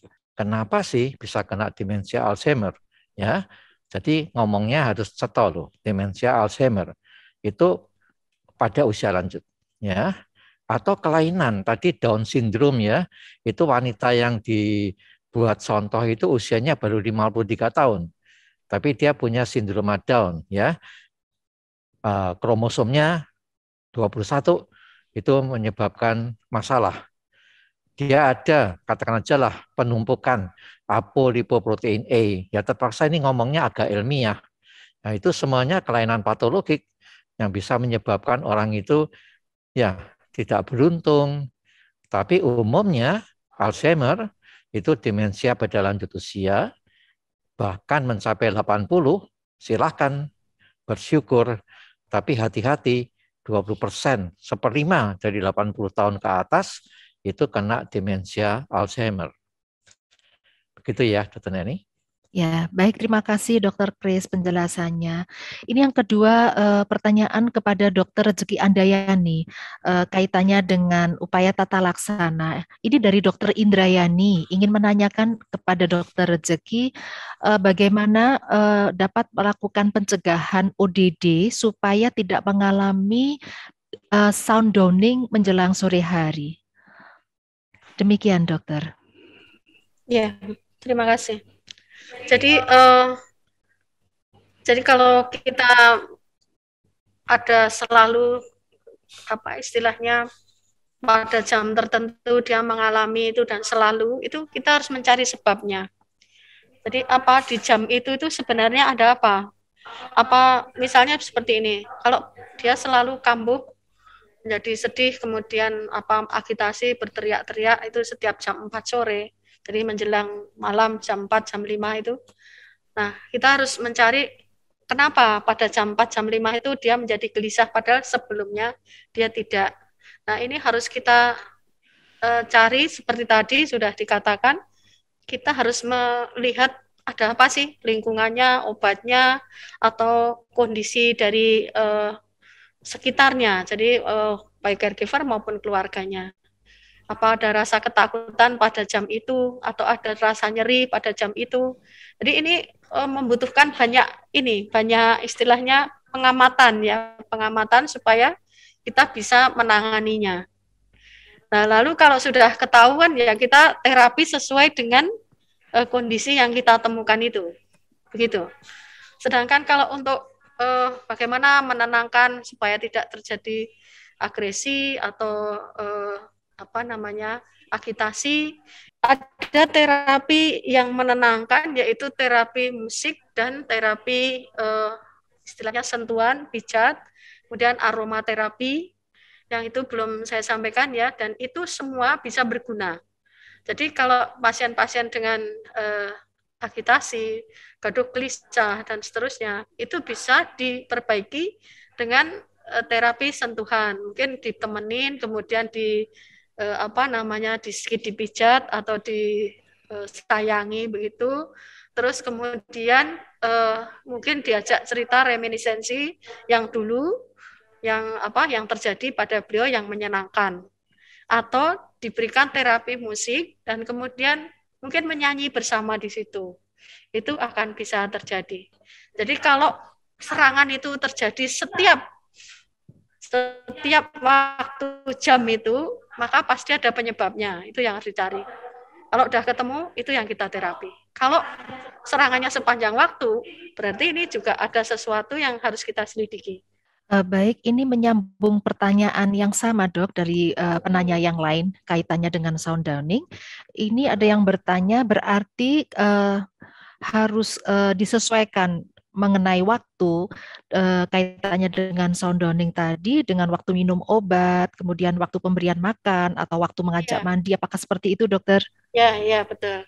Jadi eh, seperti tadi waktu saya mengatakan mungkin di slide-nya juga sudah ada, maka kita perlu kalau kita menghadapi eh, gangguan perilaku itu kita akan perlu memeriksa tadi itu obat-obatnya bagaimana, kemudian kondisinya dia itu saat itu bagaimana, kondisi lingkungannya dia bagaimana, suasana hatinya bagaimana.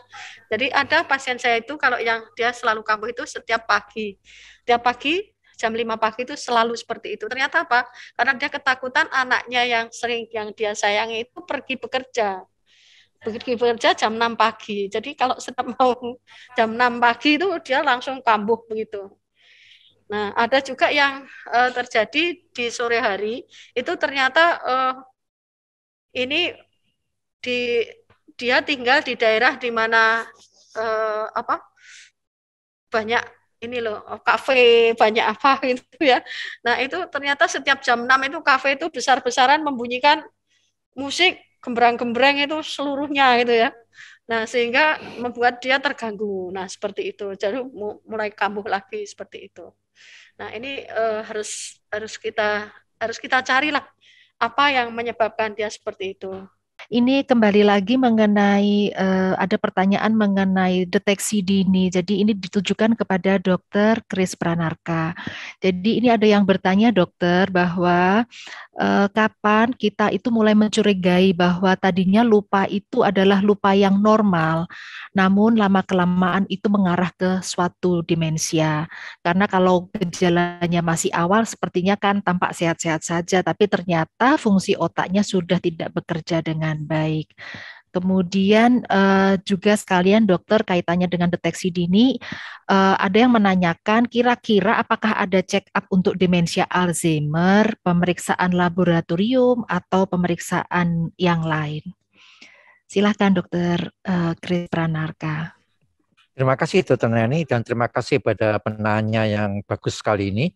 Jadi begini ya, ini kita bedakan antara seseorang yang katakan saja lah dia itu punya pendidikan cukup ya atau dia menyadari dirinya tiba-tiba dia merasa Nuh, saya ini kok jadi pelupa ya. Kok lupanya kok mulai seperti ini. Pertama-tama dia itu akan mungkin menolak. Ah, enggak ah, enggak mungkin saya itu jadi demensia. Tapi kemudian ini berkelanjutan ya. Sampai-sampai tadi ada perubahan perilaku, menemukan bahasa menjadi sulit. Kadang-kadang sudah diberitahu, ya katakan aja sampai-sampai tanya, namaku tadi siapa ya? Bayangkan kalau orang lupa namanya itu sudah kebangetan ya. Nah, kemudian nanti terus berjalan menjadi disorientasi dan sebagainya. Di sini adalah pentingnya orang ketiga ya atau keluarganya yang mengamati ini loh dalam waktu enam bulan ini kok mundurnya seperti itu ya. Jadi demensia itu uh, ada patokan. Kemunduran fungsi kognitif ya dalam enam bulan ya. Faktor-faktor risiko kita itu akan ketahuan. Jadi nggak cuma terus tanya jawab tentang pemeriksaan mini mental state examination ya namanya ya. Ya jadi ya katakan saja nomor rumah Anda berapa, siapa, katakan saja lah gubernur kita dan sebagainya. Tidak ke situ tok. Tapi seluruh pertanyaan, riwayat kesehatan, pemeriksaan badan, ya, laboratorium, karena demensia itu bisa, misalnya ada penyakit kelenjar tiroid, ya, yang kadang-kadang orang tidak menyadari kelenjar tiroidnya hipotiroidism Tadi dokter Ani menyebut vitamin B, B12 itu bisa. Tapi ini masalah para dokter.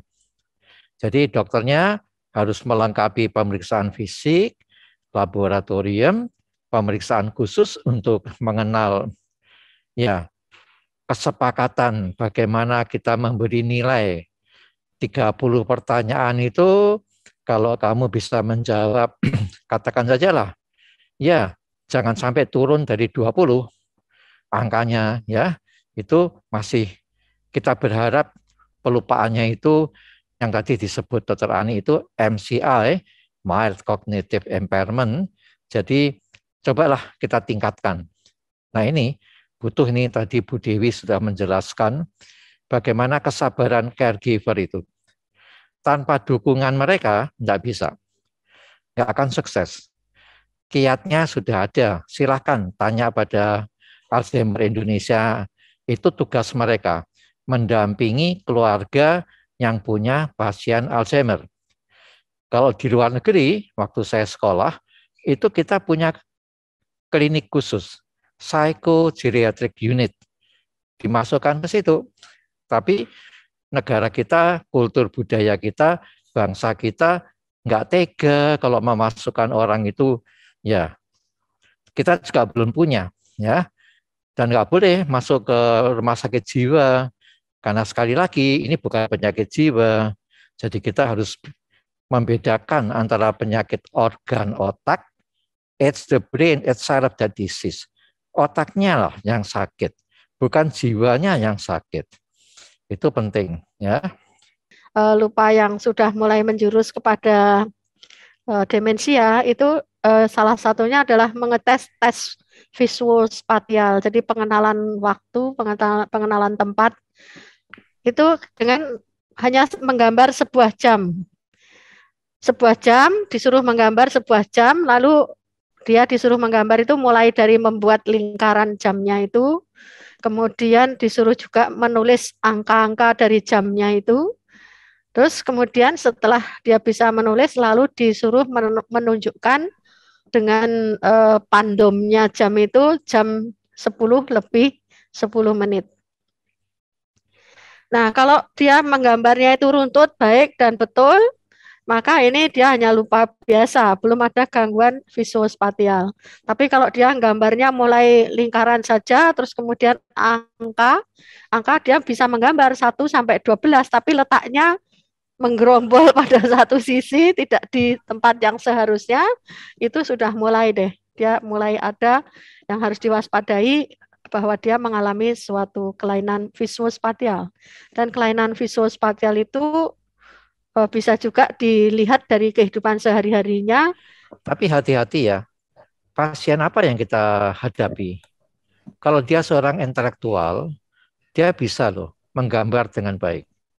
Tapi kalau dia katakan aja lah orang yang biasa saja, mungkin baru kelihatan kedodoran begitu ya. Jadi semua tes tadi sekali lagi eh, baik itu ya. Tetapi hmm. kalau kita berhadapan dengan orang yang pandai, ya pendidikannya cukup tinggi, itu seakan-akan dia lulus. Hanya nanti berikutnya kita mulai bicara, kita baru menangkap, lah ini bicaranya kok rasanya nggak nyambung gitu ya. Yaitu hanya sekedar tambahan, jadi tes sederhana itu menggambar jam itu kalau untuk orang yang intelek itu mungkin kita bisa salah ya. Tapi kalau untuk orang sederhana ya maaf ya biarpun sering kali lihat jam itu pun masih bingung. Dokter Ani bilang, ayo sekarang jamnya betul, ini bulat nih. Ayo sekarang taruh jarumnya, apa taruh angka-angkanya. Ya, oke benar nih. Sekarang ayo jam 10 lebih 10 itu mungkin tidak sama pasien bisa ya. Aneh itu mestinya bilang jam 12 gitu loh. Jam 10 lebih 10 ya angel toh. Ya terima kasih ya. Nah ya.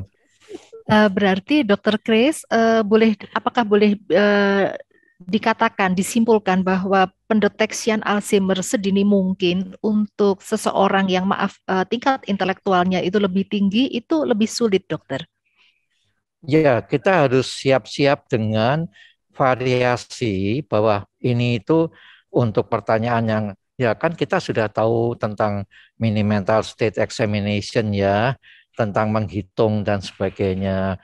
Yuk gambar yuk ini. Itu kalau dia cukup intelektual, ya tadi kan dokter Ani memberi contoh seorang profesor dalam waktu singkat dia jeret turun ya, yaitu mungkin suatu perkecualian. Biasanya turunnya bertahap Orang tadi heran dulu dengan dirinya. keluarganya juga mulai tidak pas gitu ya. Itu sekali lagi kan kita biasalah sebagai dokter itu diagnosa itu kita tegakkan dari macam-macam sudut ya baru kita sampai. Sebab vonis demensia itu sangat ditakuti oleh orang-orang di negara maju. Mereka lebih takut demensia daripada serangan jantung ya. Ya saya mungkin ya bisa paham kalau demensia itu fungsi luhur kita terusak ya. Jadi ya kita nggak bisa lagi kita bahkan disamakan dengan ya yang lain gitu ya karena kita fungsi luhurnya itu terganggu. Ya saya hanya mengingatkan agar kita selalu waspada diagnosa akhir mengatakan demensia itu harus betul-betul ya mematuhi kesepakatan yang sudah kita buat. Terima kasih Dr. Neni. Terima kasih Dr. Chris. Uh, selanjutnya ini ada pertanyaan yang bagus untuk Ibu Dewi Nilasari ya. Uh, penanya ini berasal dari ada yang dari Gunung Kidul dan ada yang dari Yogyakarta Kota. Pertanyaannya sama. Jadi uh, bagaimana Ibu Dewi caranya uh, mereka uh, mungkin kerabat atau keluarga yang mengalami ODD itu bisa bergabung di komunitas ALSI yang wilayahnya di Yogyakarta dan di uh, Gunung Kidul. Uh, kemudian yang kedua ada yang minta dijelaskan bagaimana sih uh, organisasi ALSI ini apa yang mungkin mereka bisa uh, dapatkan dan manfaatnya. Mungkin bisa dijelaskan Ibu Dewi, silahkan. Uh, ALSI ada di Yogyakarta, uh, di saya tidak hafal nomornya tapi di slide saya ada nomornya Alsi Yogyakarta. Uh, anda bisa menghubungi Alsi terdekat untuk bergabung. Jadi kegiatan yang kami lakukan adalah kegiatan uh, mengedukasi masyarakat dari sisi caregiver ya, dari sisi bagaimana sih hidup dengan ODD itu dan um, saat ini kami sedang bersama-sama dengan pihak Dinas Kesehatan Kota Semarang melakukan beberapa sosialisasi terhadap fasilitas kesehatan tingkat satu. Kebetulan kami ada di program Kemenkes untuk mensosialisasikan deteksi dini terhadap demensia dan bagaimana mengenalinya. Kalau mau bergabung, monggo silakan bergabung. Kita bersama-sama mengedukasi dan membuat masyarakat lebih tahu apa sih sebenarnya demensia Alzheimer itu dan bagaimana kita bisa mengenali lebih dini dan bagaimana kita bisa mencegah untuk uh, generasi kita yang akan datang. Begitu. Monggo nanti saya akan share nomor telepon uh, Alsi Yogyakarta. Silakan bergabung di sana. Bisa juga ke Alsi Semarang, tapi biasanya kita diteritorialkan. Jadi uh, yang sama Jawa Tengah saya megang Jawa Tengah. Kalau untuk Jogja ada sendiri. Nanti saya tuliskan. Terima kasih Dokter Neni. Uh, Iya silakan Dokter ya. Chris. Uh, jadi saya betul-betul apresiasi dengan Alzheimer Indonesia. Ya, uh, di sini diwakili Bu Dewi. Karena ini betul-betul suatu pekerjaan sosial ya mungkin nggak punya honor ya dan sebagainya. Tapi tujuannya mulia mendampingi, menjadi konsultan keluarga yang punya Alzheimer. Jadi jangan sampai mereka itu tidak punya apa ya, kata aja mau tanya ke siapa, tidak punya penyegaran semangat ya. Dahulu sebelum ada Alzheimer Indonesia, saya adalah ketua dari Asosiasi Alzheimer Indonesia, AASI ya. 15 tahun. Kemudian biasalah para dokter itu termasuk saya itu tidak se ya setangkas para sukarelawan seperti Alzheimer Indonesia ini. Dan karena tidak boleh ada dua nama sama di Kementerian Hukum, itu Asosiasi Alzheimer Indonesia dengan ikhlas menyerahkan itu pada Alzheimer Indonesia. Dan kami siap para dokter itu sebab sekali lagi tujuannya adalah pengabdian. Kita nggak boleh membiarkan keluarga yang punya pasien Alzheimer itu nggak bisa tanya pada siapa. Kita harus meringankan beban mereka. Sebab kalau beban mereka terlalu besar, itu pengaruhnya itu pada si ODD itu, orang dengan demensia. Entah perlakuannya menjadi kurang pas, perawatannya tidak lagi baik, ya semuanya itu ke pasiennya, bukan ke mereka. Jadi biar keluarga tidak lelah, itu ada sekarang ini Alzheimer Indonesia. Begitu Dr. Neni, terima kasih. Terima kasih tambahannya Dr. Chris.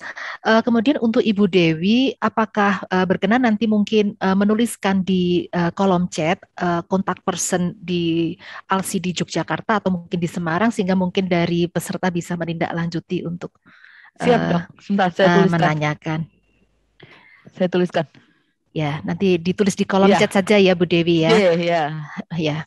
Baik, terima kasih. Kemudian ini kemungkinan uh, pertanyaan yang terakhir ya, ada saya rangkum dari beberapa uh, peserta yang bertanya ini kepada Dokter Rezeki dan Dokter Chris uh, bagaimana untuk penanganan pencegahan demensia Alzheimer yang terjadi pada lansia terkait olahraga? Apakah ada olahraga yang uh, mudah yang dilakukan sehari-hari tanpa menggunakan alat namun bisa uh, dilakukan untuk mencegah suatu keadaan demensia Alzheimer dan kiranya makanan apa saja yang baik dikonsumsi untuk lansia mengingat gaya hidup terutama pola makan ini sangat berpengaruh pada kesehatan tubuhnya dan makanan yang dihindari. Demikian monggo mungkin dokter Ani dulu atau dokter Kris dulu. Nah, di sini ini jawabannya.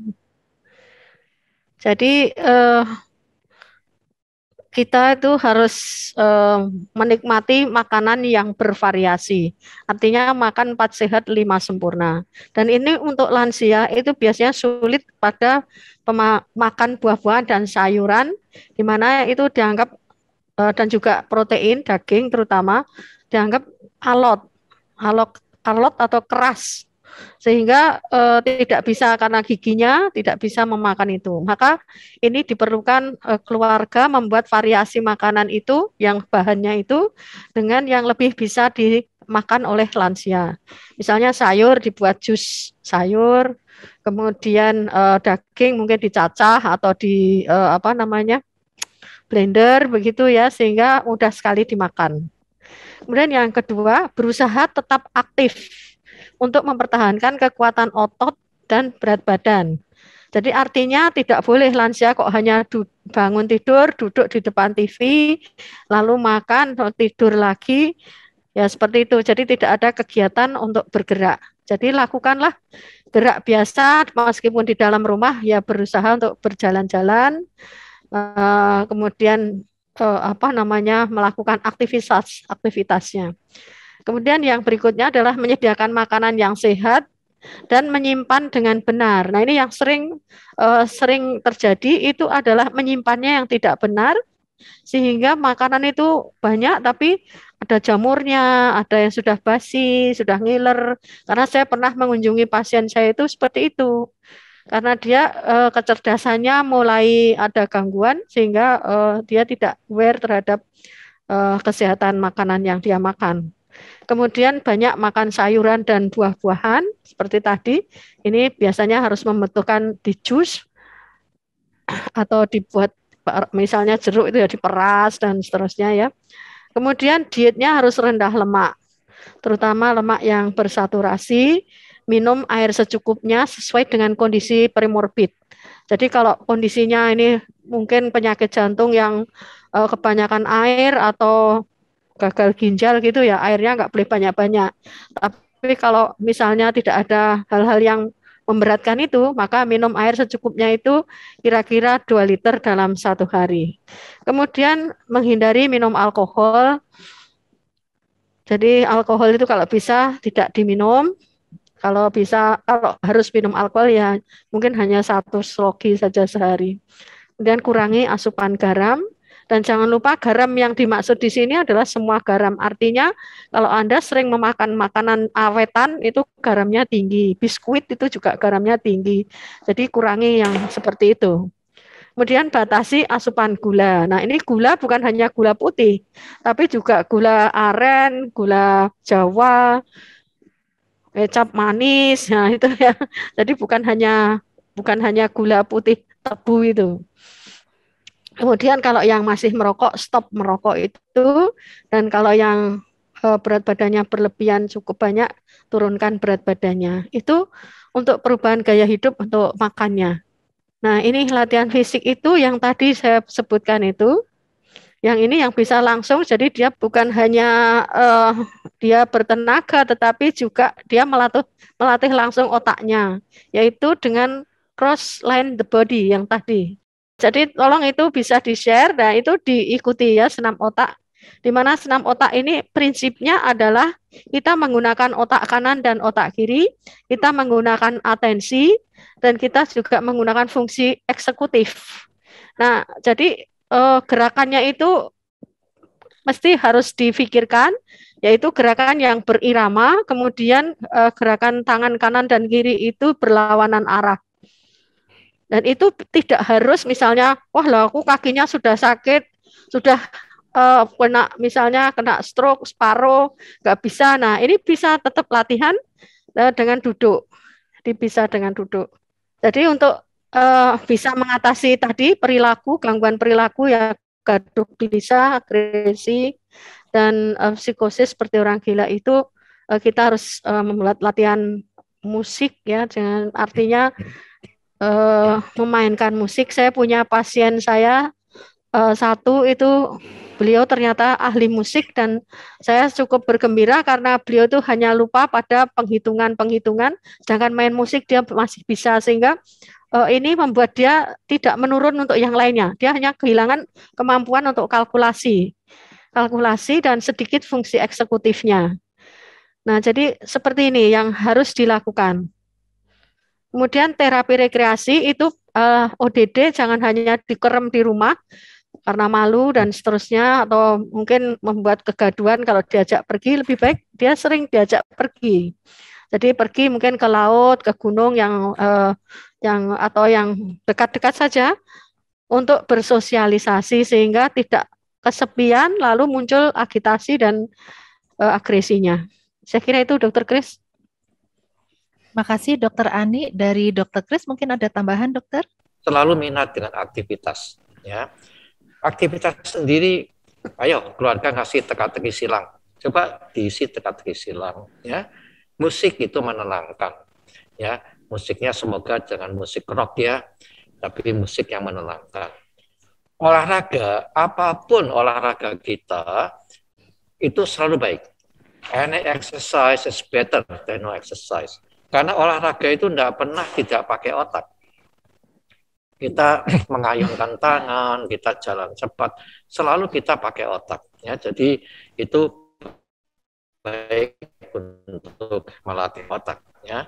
Tapi syukur-syukur ada olahraga yang khusus train the brain ya. Ini nanti Alzheimer Indonesia semoga menemukan jangan keluar dari lingkungan aktivitas sosial. Maulah ikut paguyuban-paguyuban ya. Arisan, pengajian ya, apa saja ya.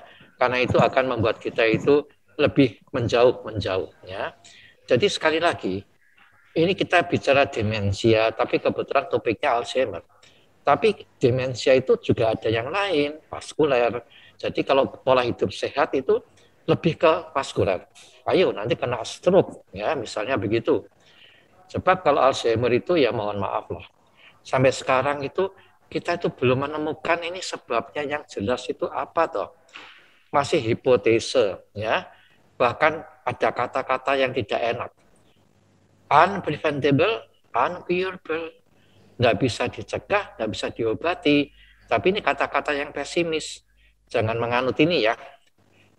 Karena dia bilang, it's the brain itself that disease. Karena si otak sendiri ini loh yang sakit. Nah, tapi kenapa dia sakit? Manusia kan selalu berpikir, berusaha. Oh, ini faktor risiko loh, ini bisa loh. Nah, kita selangkah demi selangkah maju seperti ini ada obat yang ditawarkan pada kita nih. Eh ini loh bisa memperbaiki, menghambat, tapi ada batasnya. Kalau sudah kebablasan, sudah lewat jauh, obatnya nggak bisa.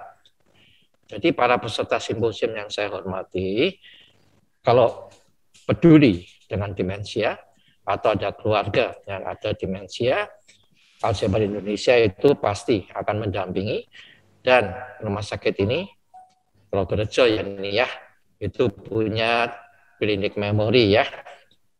Nah itu kita manfaatkan. Check up itu kan tidak cuma check up fisik, tapi juga check up yaitu otak kita itu ya moga-moga masih wajar-wajar saja ya. Saya kira begitu Dokter Neni. Terima kasih. Terima kasih atas uh, penjelasan pemaparan dari ketiga narasumber kita siang hari ini yaitu kepada Dr. Kris Pranarka dan Dr. Rezeki Andayani serta Ibu Dewi Nilasari serta terima kasih atas partisipasi uh, para dokter dan Bapak Ibu sekalian. Uh, webinar siang hari ini sangat bermanfaat ya mengenai demensia di mana kita tahu bahwa kasus demensia ini makin lama kasusnya semakin meningkat.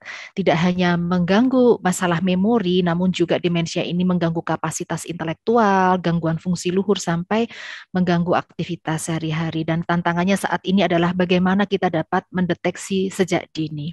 Eh, penanganan bukan hanya pada penderita namun tadi juga sudah dijelaskan eh, Ibu Dewi ya dari ALSI bahwa caregiver pun perlu mendapatkan edukasi yang tepat. Oleh karena itu, selain berobat hanya ke dokter saja, perlu adanya komunitas untuk ODD, keluarga ODD dan caregiver. Yaitu salah satunya bisa join bersama organisasi Alzheimer Indonesia.